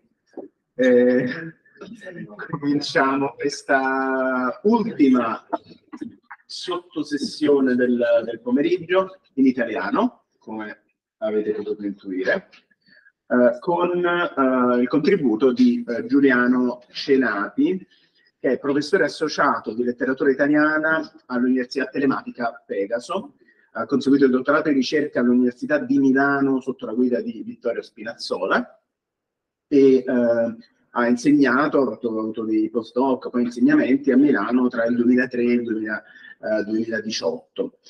Eh, si è occupato di un gran numero di autori, otto e novecenteschi, ma in particolare mi fa piacere citare eh, Alberto Savini, o Cloterello Lucentini Juan Rodolfo eh, Wilcock, del quale parlavamo giusto appunto qualche secondo fa, e in particolare come pubblicazione ha curato l'edizione eh, l'edizione di scrittori liminari della modernità italiana, dagli Scapigliati a Luigi Capuana Massimo Montempelli. Eh, varie monografie, tra cui Torniamo a bomba, i ghiribizzi narrativi di Vittorio Imbriani, eh, disegni, bizze e fulmini, i racconti di Catamiro Gadda, e Frammenti e meraviglie, ancora Gadda, e i generi della prosa breve. Eh, oggi ci parla di fumetti, quindi andiamo ancora verso un altro eh, medium. E fumetti 3D, illusionismo ed euristica della metadiegesi verbo visiva, di cui vediamo già qualcosa nella presentazione. Tiremmo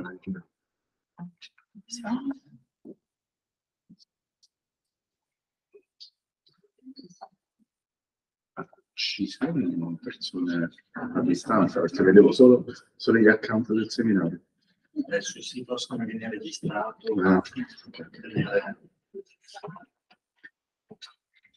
Molte ad Antonio Bibò per la presentazione, moltissime grazie per la magnifica ospitalità a Guido Cuccia, a Françoise Lavocat, alla Sorbonne Nouvelle. Buon pomeriggio. Desidero proporvi una ricognizione sull'uso e le funzioni della metalessia in ambito fumettistico, con riguardo soprattutto alle vicende del fumetto italiano tra gli anni 80 del Novecento e il tempo presente. Si tratta di una fase storica di sviluppo del medium che muove dalla stagione delle riviste e dei piccoli abiti tascabili distribuiti in edicola alla stagione del graphic novel in formato librario distribuito in librerie e fumetteria in particolare nelle librerie generaliste, dove il fumetto non era giunto prima se non in forme assai limitate e parziali.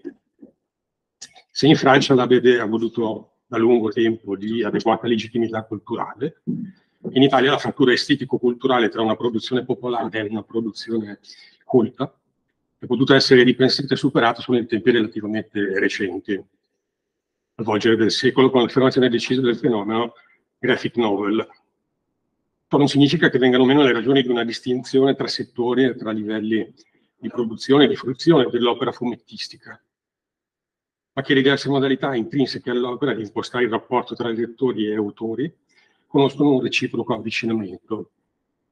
Ciò vale d'altronde anche per le relazioni tra l'esperienza di lettura fumettistica e altre forme di lettura letteraria, sullo sfondo di un sistema mediatico editoriale improntato ai principi della convergenza, dell'interazione contestuale tra diversi media e della rimediazione.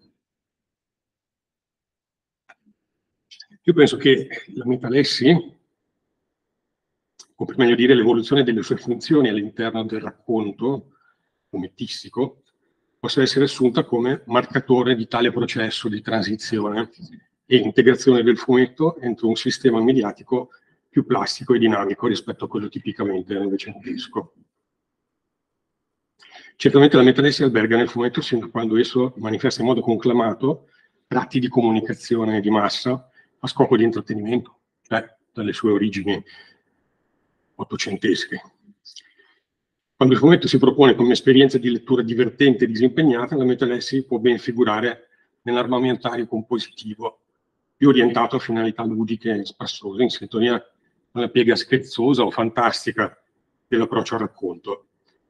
Ne abbiamo testimonianza in un'opera come Roiman di Tiziano Sclavi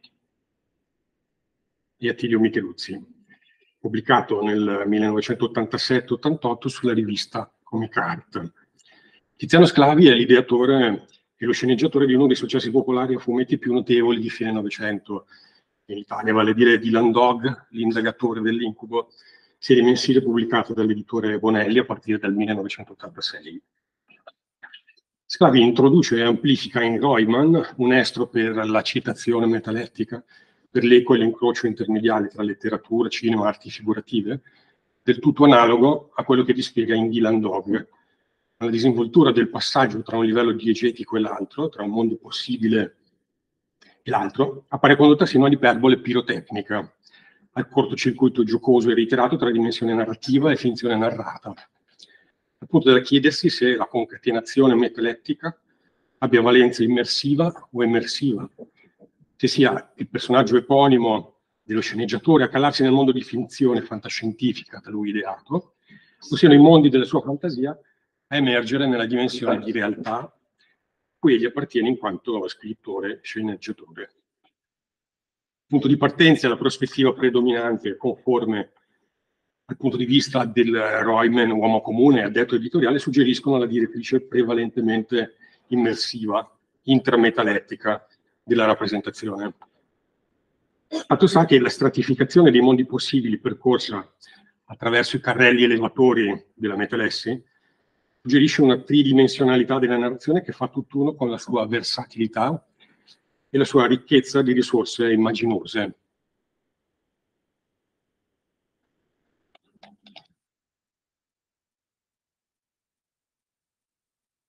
Sclavi introduce e amplifica in Royman, scusate, il, il, modello principale a cui Sclavi si rifà in Royman è fornito dal romanzo What Mad Universe, Assurdo Universo in italiano, di Frederick Brown del 1953, in cui la teoria degli infiniti mondi possibili trova applicazione a carico di uno sceneggiatore di Pulp Magazine a tema fantascientifico.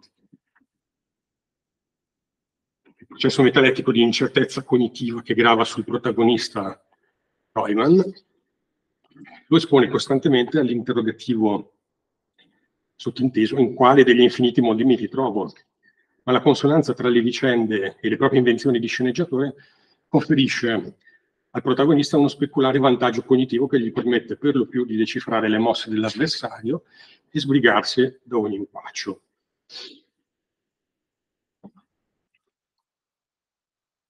Diversamente da parecchi fumetti impostati sul dualismo tra mondo dei sogni e mondo della veglia, nessuna convenzione grafica suggerisce quale sia lo stato di realtà rappresentato, onirico o reale. Il lettore è chiamato a riconoscere dalla singola tavola o vignetta per collocarla opportunamente nella gerarchia dei mondi e dei livelli di realtà o di consapevolezza rappresentati. Il meccanismo del sogno ricorrente si incrocia e si travisa presto, ad ogni modo, con gli effetti di un detonatore metalettico dotato di parvenza ben concreta e quotidiana. Una caffettiera che esplode al confine tra mondo diurno e mondo onirico in corrispondenza del risveglio o presunto risveglio di Reumann.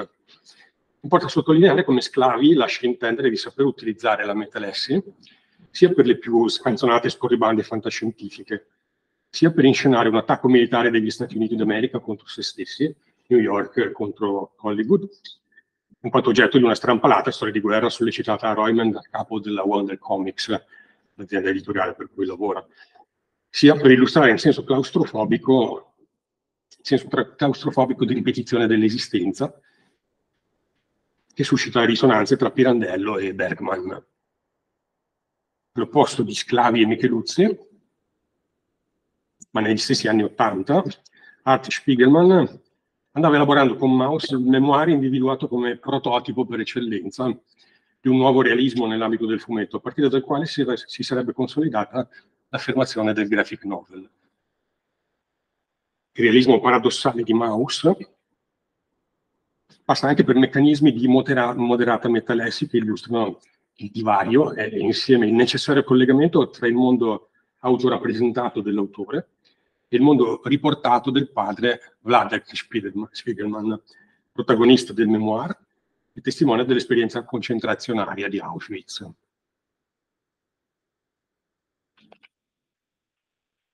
L'attenzione prestata al farsi dell'opera depone a favore dello statuto documentario e testimoniale, non funzionale, perseguito da Spiegelman. Disegnare gli strumenti della rappresentazione fumettistica le tappe e gli intoppi della composizione, ma anche i bozzetti intermedi, permette a Spiegelman di tematizzare la faticosa ricerca della giusta soluzione compositiva, del necessario equilibrio attraverso cui coltivare il racconto dell'olocausto a fumetti, in un'impresa sin lì inconcepibile, dato lo status pregiudizievole del medium. In Maus c'è spazio, ad ogni modo, anche per una metalessi più impressionante che potremmo chiamare, qualificare come metalessi mediale. E la sovrapposizione ai disegni dei documenti e delle fotografie d'epoca di un ritratto fotografico di Vladek Spiegelman. La cesura improvvisa del tessuto fumettistico causata dall'emersione di una fotografia vale non solo a ribadire il fondamento biografico documentario, della vicenda raccontata, ma anche per contrasto a rimarcare la strategia compositiva adottata dall'autore, mediante la fisionomizzazione animalesca delle categorie etnico-nazionali. Se gli ebrei sono rappresentati come topi e i nazisti come gatti, il varco metalettico aperto dalla fotografia segnala che quel topo collocato al centro del racconto, esemplare della topizzazione quatta imposta dalla persecuzione, era davvero un uomo. E per giunta un uomo dotato forse di uno strano senso dell'umorismo, se al termine della prigionia decide, decide di posare presso lo studio di un fotografo, indossando un uniforme da campo nuova e pulita, per avere una foto ricordo da inviare alla moglie Ania e comunicarle così la propria sopravvivenza. Siamo al paradosso della vittima vera della Shoah, che riveste i panni fittizi di vittima diventa cioè narratore fotografico di se stesso, in quanto vittima, ma vittima sopravvissuta, mediante una messa in scena fotografica per evocare ed esorcizzare lo sterminio appena scampato. Il divario tra media, fotografia e fumetto, possibile di essere giustapposti e correlati entro una medesima composizione romanzesca, viene sfruttato estesamente da Ausonia, fiorentino Francesco Ciampi nel 2008. con un romanzo, un metaromanzo o antiromanzo a fumetti intitolato Interni o La miserevole vita di uno scrittore di successo. Anche in questo caso si tratta di un travestimento allegorico di gusto kafkiano, in cui le fisionomie e le vicende umane, in particolare quelle dello scrittore Albert Grünwald, sono proiettate in forme entomologiche, sullo sfondo di una Germania stravolta dal nazismo e dalla guerra. Il registro di rappresentazione però stavolta apertamente finzionale. Grünwald è vittima di un complotto del suo editore che intende legarlo perpetuamente alla produzione di genere più dozzinale. Ma interviene in suo soccorso la segretaria di redazione Anna Sherwood, che gli permette di smascherare la persecuzione e portare in tribunale i suoi referenti editoriali. Di lì in poi per Albert Grünwald si apre una stagione di rinascita intellettuale in cui dedicarsi al romanzo di levatura colta che sta scrivendo e riscrivendo da una vita, dal titolo Interni, Misanabin. Il riscatto del scrittore, non esente da imprevisti, trova corrispondenza nel faticoso dopoguerra della Germania, sul piano pubblico, e in una terapia contro la prostatite sul piano privato. Proprio lungo gli imprevisti del percorso intellettuale di Grünwald, ex scrittore di successo, Ausonia innesta sequenze divergenti del racconto realizzate mediante la tecnica del fotoromanzo. Una certa sospensione riflessiva della narrazione è attuata grazie alla sovrimposizione di didascalie autoriali. Confusione di metalessi metaromanzesca, metalessi retorica, nel lato sinistro della pagina. Mentre l'introduzione di dialoghi fotofumettistici tra la voce fuori campo dell'autore e il suo editor mentale, metalessi ontologica o finzionale, determina una continuazione della metalessi didascalica con altri mezzi assai più invasivi. L'editor mentale si presenta come un signore elegantemente vestito con una scatola di cartone al posto della testa e la incresciosa attitudine ad abitare in anfratti edilizi dell'apparenza poco ospitale. Si danno anche momenti di civile conversazione svolte con la voce fuori campo dell'autore su uno sfondo intimamente salottiero. Il dialogo tra editor mentale e voce d'autore assolve a esigenze di motivazione della vicenda primaria, quella di Grünwald, ma poco a poco anche della vicenda metadiegetica. La funzione eulistica, dispiegata dal confronto cerebrale tra l'editor e la voce autoriale, assume un andamento insieme saggistico e narrativo. Il contributo della tecnica fotoromanzesca conosce ulteriori manifestazioni in interni, perché oltre alle sequenze metalettiche di cui protagonista è l'editor mentale, insieme con la voce d'autore, dalla vicenda di Albert Grünwald si diramano anche sequenze incentrate sull'incubazione della storia primaria, dove Albert e Anna, niente affatto scarfaggi antropomorfi, presentano fattezze umane giovanili esaltate dal realismo dell'immagine fotografica. Ma sul piano psicologico e motivazionale appaiono personaggi appena sbozzati, brancolanti nell'incertezza del proprio progetto esistenziale e della relazione reciproca. Un ulteriore livello metadiegetico allestito da Ausonia riguarda gli amici dell'autore, che sono coinvolti in una campagna fotografica in Sardegna, funzionale alla realizzazione dell'opera. Accanto alle battute di dialogo che coinvolgono la solita voce autoriale fuori campo, alla stessa maniera in cui essa interloquiva con l'editor mentale, si trovano battute che tematizzano e ricercano sul senso della metalessi a partire dal film di Woody Allen Whatever Works, partire dalla trovata alleniana di far rivolgere il personaggio di Boris Yelnikov, protagonista del film, al pubblico in sala.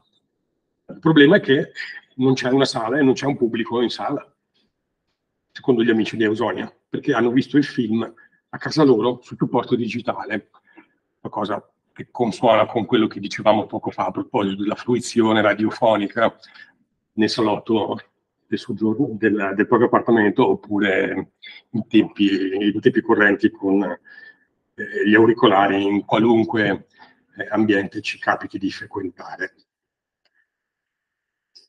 La metalessia extradiegetica incentrata sui mezzi e le circostanze materiali di fruizione patisce insomma le trasformazioni tecnologiche intervenute per passare a occuparci di racconto a fumetti non finzionale, dopo il precedente modello di Spiegelman, ci rivolgiamo a Zero Calcare, che offre nel 2015 una delle interpretazioni più, efficaci del graphic journalism con Coban e Colvin. Reportage disegnato al seguito di una missione di solidarietà internazionale verso la città siriana durante l'occupazione di Daesh. L'aspetto didascalico del reportage è avvivato da continue fibrillazioni del registro rappresentativo che virano il fumetto in chiave umoristica e autoironica. Le discontinuità dell'esposizione, all'interno di cui si inseriscono destruttoriamente dubbi, chiose, precisazioni, riflessioni collaterali, mostrano spesso le valenze formali e strutturali della metalessi, benché l'impianto dell'opera non sia propriamente di finzione e le ragioni dell'artificio romanzesco si pongono ad ogni pagina e con esse le opportunità del loro sfalsamento metalettico. Lo stesso registro didascalico ammette discontinuità di tipo metadidascalico, come nel caso dei pipponi o spiegoni, bis de tête, che indugiano a chiarire determinati aspetti della situazione geopolitica e politico-culturale, o nel caso dell'infografica scherzosamente applicata all'autoanalisi interiore del narratore-autore o nel caso delle note di traduzione che compaiono per evocare il disorientamento e il genuino smarrimento nel contatto interculturale, pur animato dalle migliori disponibilità comunicative e al confronto. Posso da reporter o addirittura da esperto che sa le cose perché le ha vissute sul campo riesce malagevole a zero calcare il suo personaggio autoriale in veste di reporter Ecco allora che gli accorgimenti metalettici valgono a ironizzare la superiorità didascalica dello scrivente o io fumettante attraverso una sua esasperazione e caricatura. E si spingono fino a esortare il lettore a non leggere quelle strisce, a saltare bellamente quelle strisce che si soffermano su noiosi e pedanteschi ragguagli. L'interiorità trepidante del reporter manifesta eccessi di turbamento così spinti che ne scaturisce nel pubblico un'empatia divertita. Il tipo di metanessi che esprime tale condizione interiore è quello che giustappone vignette cronachistiche a vignette in cui si proiettano ossessioni e incubi ispirati dalla fama sanguinaria di Daesh, anzitutto. L'ordinaria sintassi della tavola disegnata non solo prevede l'accostamento tra i diversi piani di realtà, quella esteriore resocontistica e quella psicologico-introspettiva, ma per giunta quest'ultima appare sottoposta a procedimenti di similitudine iconica, esumendo il termine di paragone dall'immaginario mass mediatico di intrattenimento che più estraneo non potrebbe essere rispetto al contesto bellico turco-siriano. La propaganda del terrore di Daesh, per esempio, ammette il paragone con i cattivissimi punk dell'anime Okuto no Ken, il manichismo virulento del cartone animato post-apocalittico giapponese ben consente di misurare le semplificazioni della comunicazione politica invase e le distorsioni dei mass media ufficiali. Talvolta il piano di rappresentazione che coincide con la divagazione introspettiva o commentativa, come in questa diapositiva, la drammatizzazione polemica attribuita a George Pig, fratello della più nota Peppa, appare in stridente contrasto con il piano di resoconto principale. Appunto che gli interlocutori reali del protagonista reporter, afferenti piano di resoconto principale, per proseguire la conversazione devono richiamare l'attenzione del personaggio protagonista per distoglierlo dai piani di rappresentazione collaterali e devianti. Zero Calcare si può considerare rappresentativo di un ampio filone, non solo italiano, del graphic novel e del graphic journalism, in cui uno spazio di racconto centrale è riservato al personaggio autobiografico dell'autore. L'autodiegesi autofinzionale o l'autodiegesi didascalica non finzionale limitano fortemente in linea di principio il ricorso alla metalessi, perché postulano la collocazione sulla scena del personaggio autoriale, in figura e o in voce, in un ruolo decisivo e come portatore del punto di vista dominante. Un impianto del racconto simile, d'altronde, potrebbe essere inteso come estensivamente metalettico, proprio in base alla presenza persistente del personaggio autore, alla sua caratterizzazione in termini di cartoon, all'effetto di dissidio e convergenza tra io narrante e io narrato. Soprattutto quando la consistenza dell'intero mondo narrativo gravita intorno alla molteplicità di ruoli e funzioni assegnate al soggetto autoriale, la metalessi e gli scossoni cognitivi che essa produce ribadiscono la sovranità di quel soggetto. Si tratta delle reiterate manovre di messa a punto del processo narrativo o espositivo, attraverso cui le scelte di composizione vengono esplicitate, chiamate in causa problematicamente, ribadite, sottoposte all'attenzione critica consapevole del lettore, allo stesso tempo in cui al lettore si prospetta e si ribadisce la sovranità del protagonista, narratore, autore.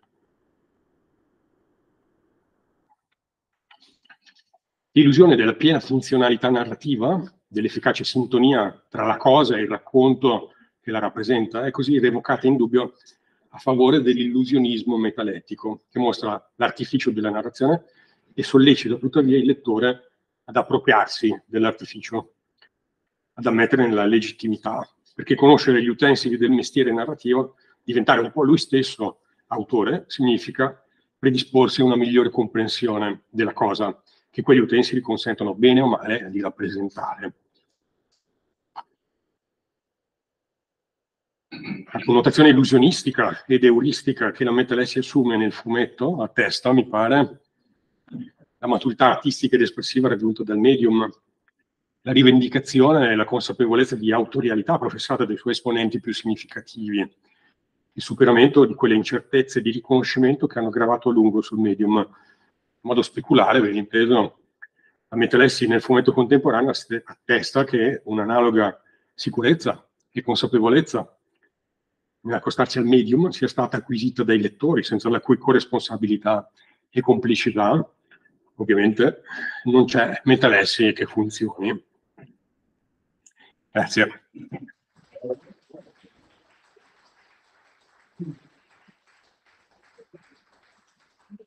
Grazie, grazie infinite uh, Giuliano.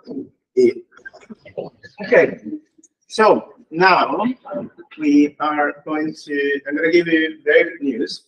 So we're going to listen to the next paper and then the Q&A will actually happen in outside here, if I got it right. We don't know. No, no, after this. Yeah, Esatto, è quello stavo dicendo. okay, so after this paper, we're going to be Q&A outside uh, while drinking cider and being a lot more relaxed and while the performers actually get ready because there's a performance afterwards.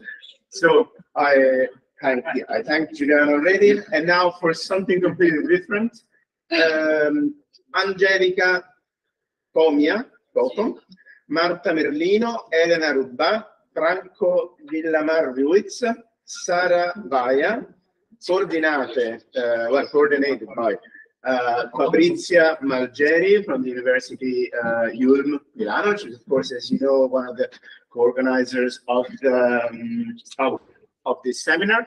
Uh, will do a talk about another medium that we haven't uh, talked about yet, which is video games. So, with a great title as well, uh, which is Don't Forget to Save Your Game, a reliable metaleptic narrator in the video game Doki Doki Literature Club. Fantastic. The floor is yours.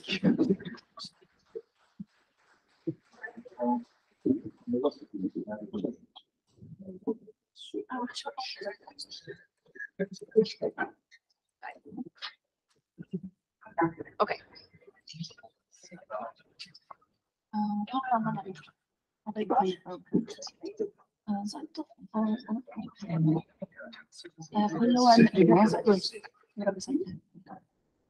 Ok, aspetta, vai.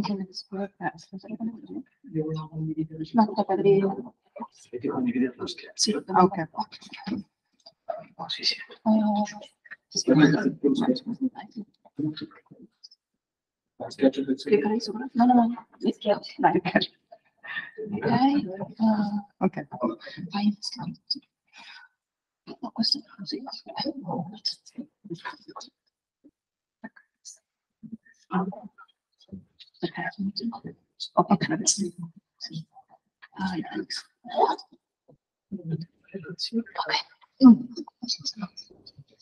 so um, our research analyzes uh, metalepsis in video games. We will be taking uh, a look at, the, at this topic, basing ourselves off of the study made by Ryan on uh, metalepsis uh, in this medium, which ties in with the interactional metalepsis, an expression further analyzed by Ensslin that exploits uh, the interactive nature of digital technology. Uh, we will continue uh, with the case study of uh, Doki Doki Literature Club, uh, a visual novel, a video game produced by Kim Salvato and published in, uh, for free in 2017. Uh, this video game apparently isn't different from any other dating simulator video game, with an invulnerable pro protagonist that finds himself hanging out with four female members of his school literature club, uh, but I won't get into any more specifics as you will hear about it uh, in the second part with my colleague uh, Marta. Okay. Um, Ryan uh, emphasizes the importance that metalepsis can have in video games by stating that uh, video games offer a particularly favorable uh, environment for metalepsis. as programs that produce fictional worlds, they can play with world and levels and as well as that invite the player to step into the shoes of a character or the avatar. Uh, they can exploit the contrast between uh, the player's real and uh, fictional identities. Um, therefore, from this statement, um, we can infer um, that Ryan consideration of metalepsis in digital media is extended by the concept of interactional metalepsis. Um, Ensslin defines it as a phenomenon that primarily involves digital interactive media that requires the user's physical interaction with the hardware and, uh, and software. Therefore, interactional metalepsis uh, exploits the interactive nature of digital technology um, through, uh, through, the, through the hardware, um, with which the player accesses the game, such as uh, the mouse, uh, uh, the keyboard, or other navigational devices. Um, it is thus fundamentally in, embedded and an inevitable, inevitable feature of uh, video games. Um, it is also important to highlight that since interact, interactive metalepsis uh, um, in uh, video game media depends precisely on the player on the player's interaction with the video game um, and associated narrative work while playing, uh, we have to consider a particular kind of ontological transgressions that occur across the boundary between the real world and the fictional and the narrative world rather than um, the ontological levels within the narrative uh, world itself. Um, also, um, it is um, most obvious and common, um, commonly accepted that metalepsis causes confusion or at least surprise because it marks a break between what are normally perceived as strictly separate ontological spheres. But in, in the same way, and it is particularly in, um, in digital media, uh, metalepsis is used, it can be used to achieve the opposite effect, which is uh, to increase immersion. For example, uh, in video games, uh, the player is drawn into the fictional world uh, in different ways. For example, uh, with the use of view, when game character or the game itself addresses the player, or by seeing the game world in 3D from the first person perspective, uh, for example, in uh, first person shooters kind of video games. Um, lastly, avatars can be described as the most arguably it can be arguably the most immersive metaleptic tool um, precisely because uh, they give players the opportunity to project themselves physically and graphically into the world of, of the story um, therefore, the player uh, who is also identified as an avatar descends from the extra-diegetic world to act within the, the story world. And in this case, metalepsis does not disrupt the illusion of the fictional world, but on the contrary, it disrupts the narrative levels to immerse the player with, uh, within the fictional world uh, itself. Um, in this way, the, the player, uh, when playing, playing a video game, al almost no longer uh, perceives that artificiality um, of the game uh, itself. Um, uh, analyzing the role of the mouse in human-computer interaction in general, uh, Bizzocchi and Woodbury suggest that we are so accustomed to this correlation that we we don't even question we don't even question it. Thus, while ontologically transgressive, transgressive, the player or the cursor can also be seen as a form of conventional unnaturalness in digital context, having a visual perspective controlled by a peripheral navigation device um, as an established and conventional feature of, uh, of video games. Um, okay, lastly, uh, a particularly significant element to analyze when it comes to metalepsis in video games is the connection between the diegesis and non-diegesis. Diegesis referring to being in the world of a video game's narrative action uh, that is juxtaposed with non-diegesis, uh, non, yes, non-diegesis, um, and the non-diegetic element of a game that exists outside the world, uh, such as menus, head-up displays, or settings. Um, and as, as we have already mentioned, um, in, it is common in a video game for the diegetic boundary to be transgressed uh, by the way players during the act of playing constantly oscillates uh, between the inside and outside of the diegesis. Um, Galloway um, further uh, suggests that metalepsis does not only refer to the disruption of diegetic boundaries, uh, because it is also connected to the um, oscillation of authority between the player uh, and the game uh, he or she is playing, uh, whether it is the game's control behaving unexpectedly or the player altering the game's code. Um, here argues that both the player and the game itself uh, can perform acts in and out of the diegesis, um, and this is articulated into two, dis two distinct axes, diegetic, non-diegetic, and operator machine, uh, and identifies that both the player operator and the game machine function perpetually inside and outside the diegesis, with the player performing acts within the game world while at, at, the same time manipulating menus or the HUD that are overlapping but exist separately. Um, therefore, video games also alternate between acts within the diegesis, such as playing scene or controlling enemy, uh, enemy behavior, or non-diegetic acts, such as changing the HUD or character statistics. Um, concluding that the oscillation of diegetic and non-diegetic elements uh, and between the inside and outside uh, of the story world uh, is a key part of a video game uh, and thus creates a tendency towards uh, metalepsis within, the, within the medium. Um, therefore, uh, considering Ryan's, Ryan's assertion, video games provide a favorable environment for metalepsis, uh, not only because they can play with fictional world and code levels, but also because they can play with the diegetic and non-diegetic element uh, of a video game. Uh, and this makes metalepsis a meaningful, meaningful consequence to the way video game diegesis function. And we will see this, uh, we will see a great example of this with, with our case study, Doki Doki Literature Club.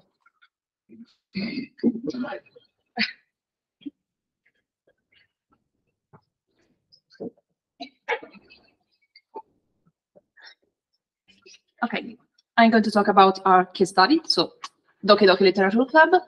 As said by my colleague, it is a video game published by Team Salvato in 2017, and it is a visual novel dating sim video game.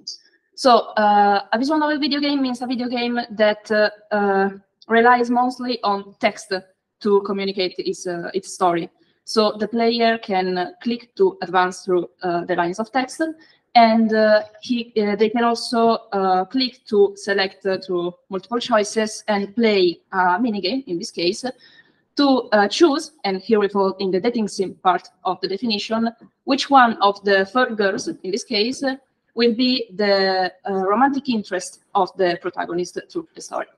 The plot of Doki Doki is pretty simple. The protagonist is a boy who joins his school's literature club, and there he meets the other four members. And for the first uh, three days of narration, this is pretty much uh, what happens until on the fourth day of uh, narration, uh, something changes. So uh, the protagonist discovers the suicidal body of one of the, the girls, Sayori, and something kind of weird happens. So there are some uh, errors on the screen. And uh, the game forcefully goes back uh, to the to the main menu where the save files are uh, corrupted. And when the when the player tries to load them, the game for forcefully starts a new game where everything goes uh, on uh, like normal, except for the fact that uh, everything behaves as Sayori had never existed before. And so the game uh, lets uh, its facade fall and uh, reveals itself as a psychological horror video game that relies on metalepsis to um, create a sense of dread in the player, and most importantly, to create a sense of unreliability on all levels of uh, narration. So, um, Sayori's death scene is already, um, sorry, I forgot about. Um, the main point of the game is that uh, one of the girls, Monika, the brown-haired one, is uh, fully conscious of being a character in the game and uh, is um, constantly altering the game code in an obviously non-diegetic act to become the only girl left for the protagonist to date. And Sayori's death scene is already a perfect example of how she acts. For a while, under um, in the in the background, we can see a message: an exception, an exception has occurred. See traceback point txt for details. And the player can actually go into the game files and find the file txt. Opening it, you will find the usual error messages, but also a message that uh, we can see in the in the yellow post-it that uh, is already a hint, a non-diegetical hint about uh, Monika's uh, Monika's hacking the, the, code. And uh, this is not the first time that uh, she uh, leaves some hints. For example, in the first act of the game, before Sayori's death, uh, she reminds the, the protagonist to don't forget to save your game, which is something she shouldn't be aware of.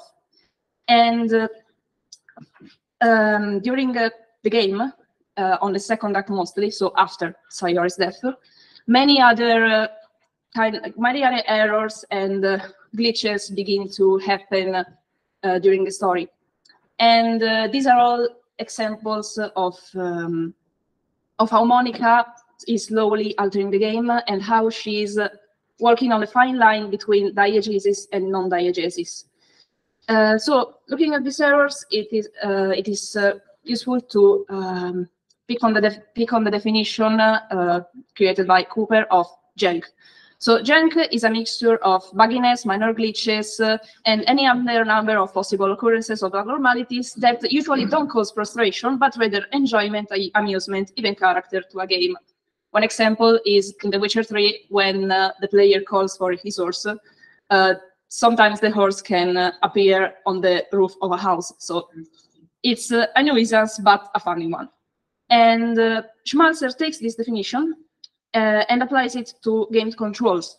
So a janky, uh, co janky controls are, control, are create a disconnect between input and expected output. And uh, jank can be unintentional, so literally an error in the code, or like in this case, intentional. And usually intentional jankiness is uh, used to uh, create a sense of unreliability on uh, the, um, the gameplay level, or most importantly, uh, they can give the player a sense of loss of control. And uh, this uh, is what happens once again on Sayori's death scene, because the player loses control of his directives. Directives are, are all the um, actions in game that have an influence outside of the of diegesis. So, for example, saving the game, creating, uh, um, going back to the main menu, skipping a dialogue, opposed to commands that are for example, uh, uh, actions like uh, picking a uh, dialog options that have an effect on diegesis. And uh, di directives uh, are naturally operator actions as defined by Galloway, so actions that the player does, as opposed to machine actions that uh, are uh, whatever action is uh, executed by software and hardware. And so during uh, Sayori's dev scene, it's the game that sends the player back to the main menu, and it's the game that forces the player to start again, to start again a new, um, a new game, a new, new game. And uh, those are all directives that uh, should be operator actions and that the game forces to be machine actions. And um, the this uh, kind of uh, of uh, incongruence reaches its peak during the end of Act Two, when another one of the girls uh, perishes in a pretty violent way. And at the moment, the player is uh, stuck be beside her, her body for two in-game in-game days, while the only thing they can do is proceed through gibberish text. They cannot uh, save the game, they cannot uh, load a new save file, they cannot do anything else than uh, go on.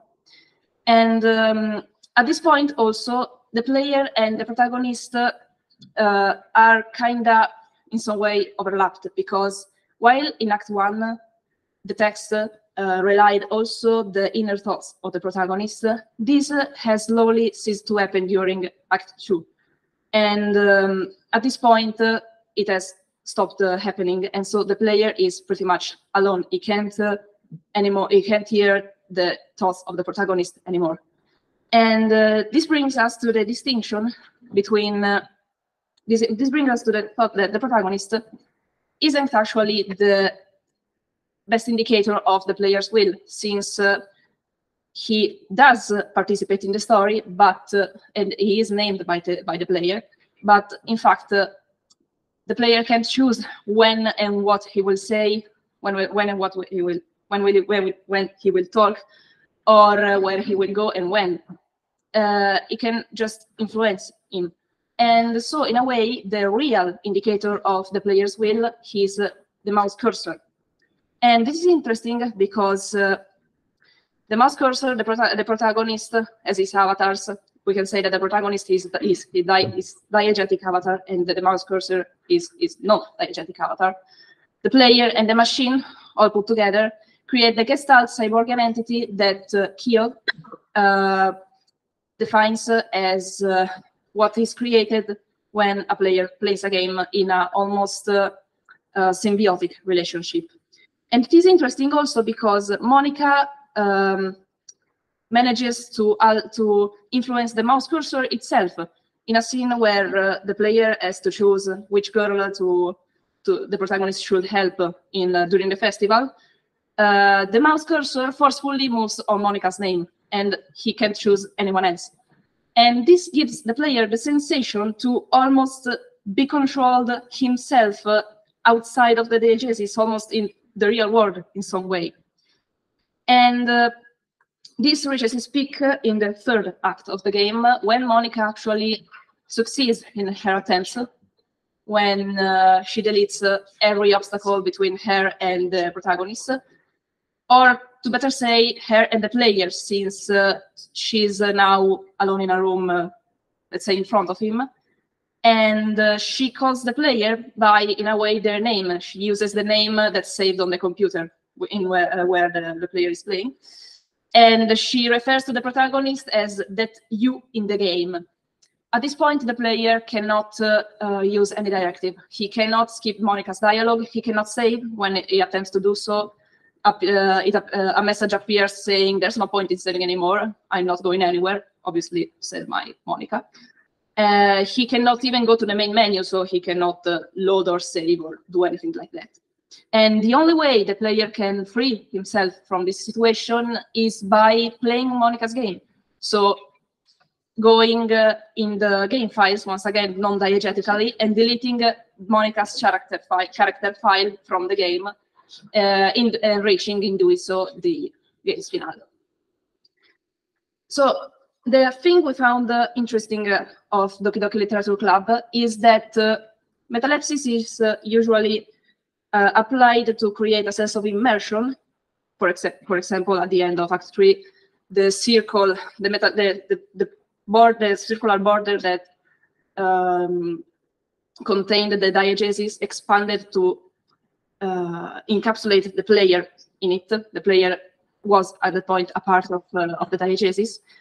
Or to create a sense of, aliena- of alienation, uh, creating a sense of uh, uneasiness that uh, tend to uh, that tended to um, make the, the player have mm, want to have a distance between themselves and the game.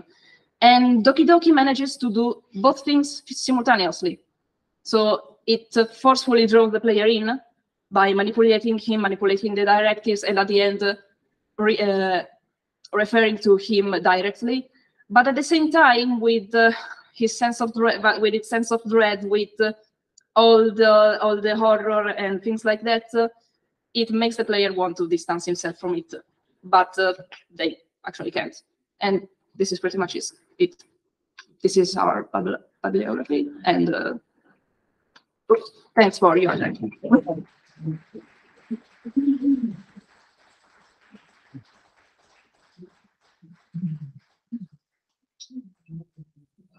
Thank you. Thank you so much.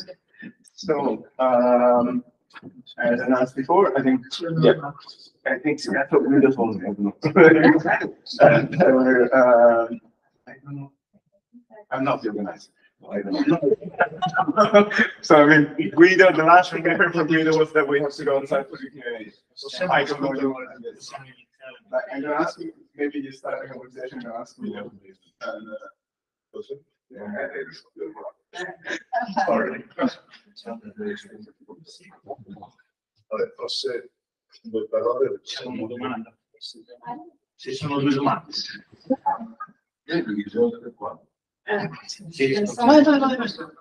Thank you very much. That was super, super interesting. I, I have just one small question that doesn't have much to do with metalepsis. And it would be, can you call a game, if I understood correctly, at the end, the player cannot do anything, like it's forced to do, to just cancel the game? This is the very last action you can take? you I can understood you can just close the game, open it, obviously, and uh, it it does not have to cancel the entire game. It just has to cancel the to can, to delete uh, Car- uh, Monika's character file. Obviously, it is not the real character file. The game is structured in a way in which uh, the player can alter some files, obviously prepared by the programmers already there for him to to play with, in a sense. But then, like inside the world created by the game, we cannot do anything else. You So can just stay would- there and watch Monika. Would, would, would this still be considered a game? Like, how, how far is this? It is interesting because uh, there are similar games that uh, uh, made uh, many people uh, ask the same question. For example, uh, uh, Everybody's Gone to the Rapture, where uh, the player just walks around. It does, it does nothing as than walking around, exploring an area, and finding uh, sometimes some uh, like letters or um, recordings uh, made by people, uh, um, which can help him to um, understand what actually happened in the city where where But here, can he walk around or he's just? he can just uh, like listen to what Monika has to say. So it's, it's rather a movie with, with like. In some way, but it's it's just like uh, it is in a way a level. So to let's say win the level to pass to the to go to the next step. So Act Four in this case, You he has to he has to do something to to um, uh, to overcome an obstacle, and the obstacle and the obstacle in this case is outside of the diegesis, so is to delete the file. Mm, Very interesting. Thank you. Thank you very much. Okay, is, is there a question? No, please. uh, go ahead. Okay, there is no way to avoid the, the suicide of Monika, and I would like to know if there is any connection between the fact that she knows that she's a fictional character and the suicide. Yeah, she states she personally states that she uh, to make the protagonist distance himself from the other girls. uh, at first, uh, Sayori was already a bit uh, uh, uh, she had depression, and Monika depression, and Monika through the code made it worse. She didn't want her to actually die. She just wanted her to uh, distance herself from the from the protagonist. And in fact, uh, in the um, in the comment she does when Sayori dies, she says, uh, um, she says, actually, you know what? This would be probably a lot easier if I just deleted her. She's the one who making who's making this so difficult. So she tries to do it in a peaceful way, but at one point she says, "It's easier like this."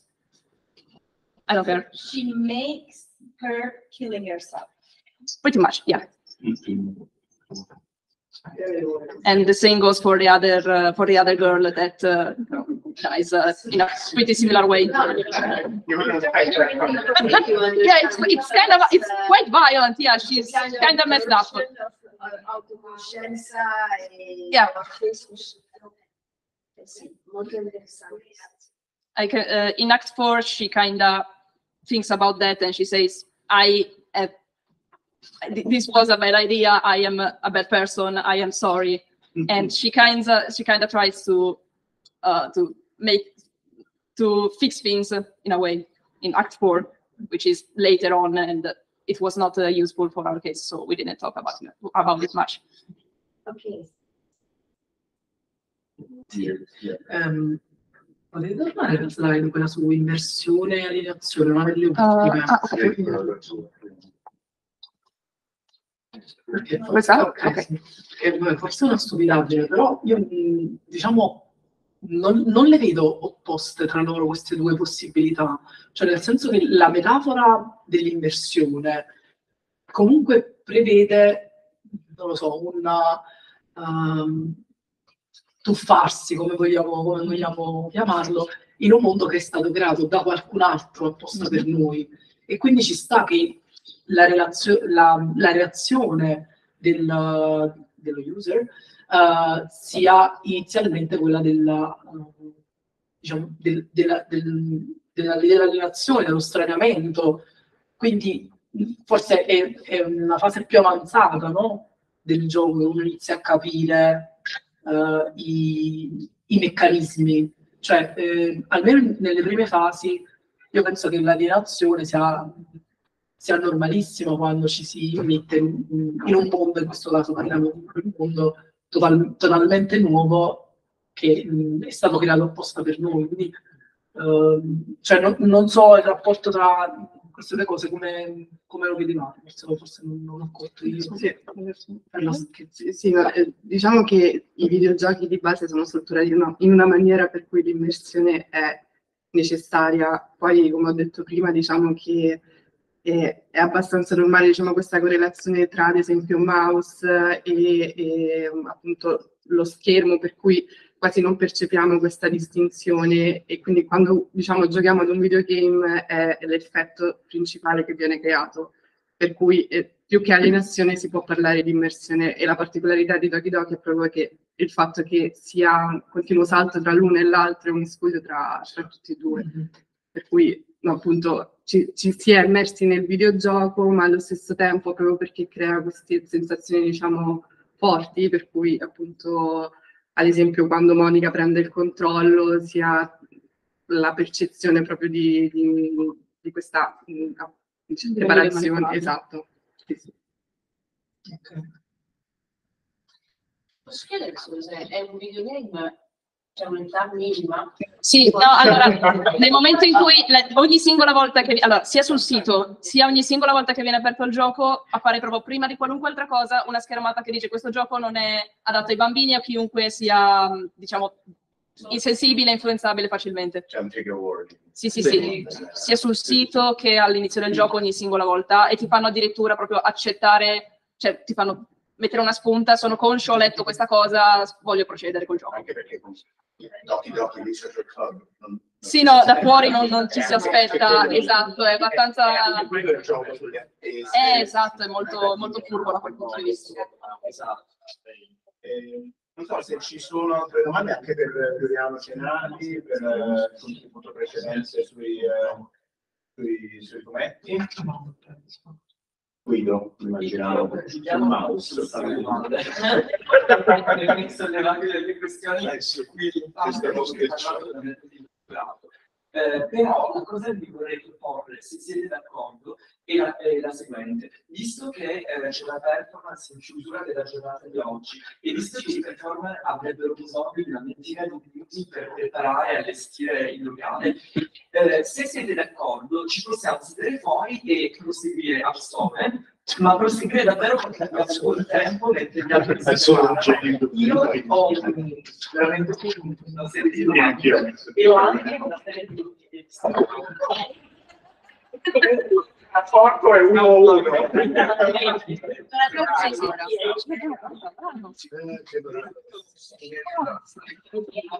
Ma vissute sono state quando la pressione sanguigna Ora, ora sto scaricando. Riuscivate anche a respirare. Riuscite anche a respirare. Aspetta ah, un po' la presentazione.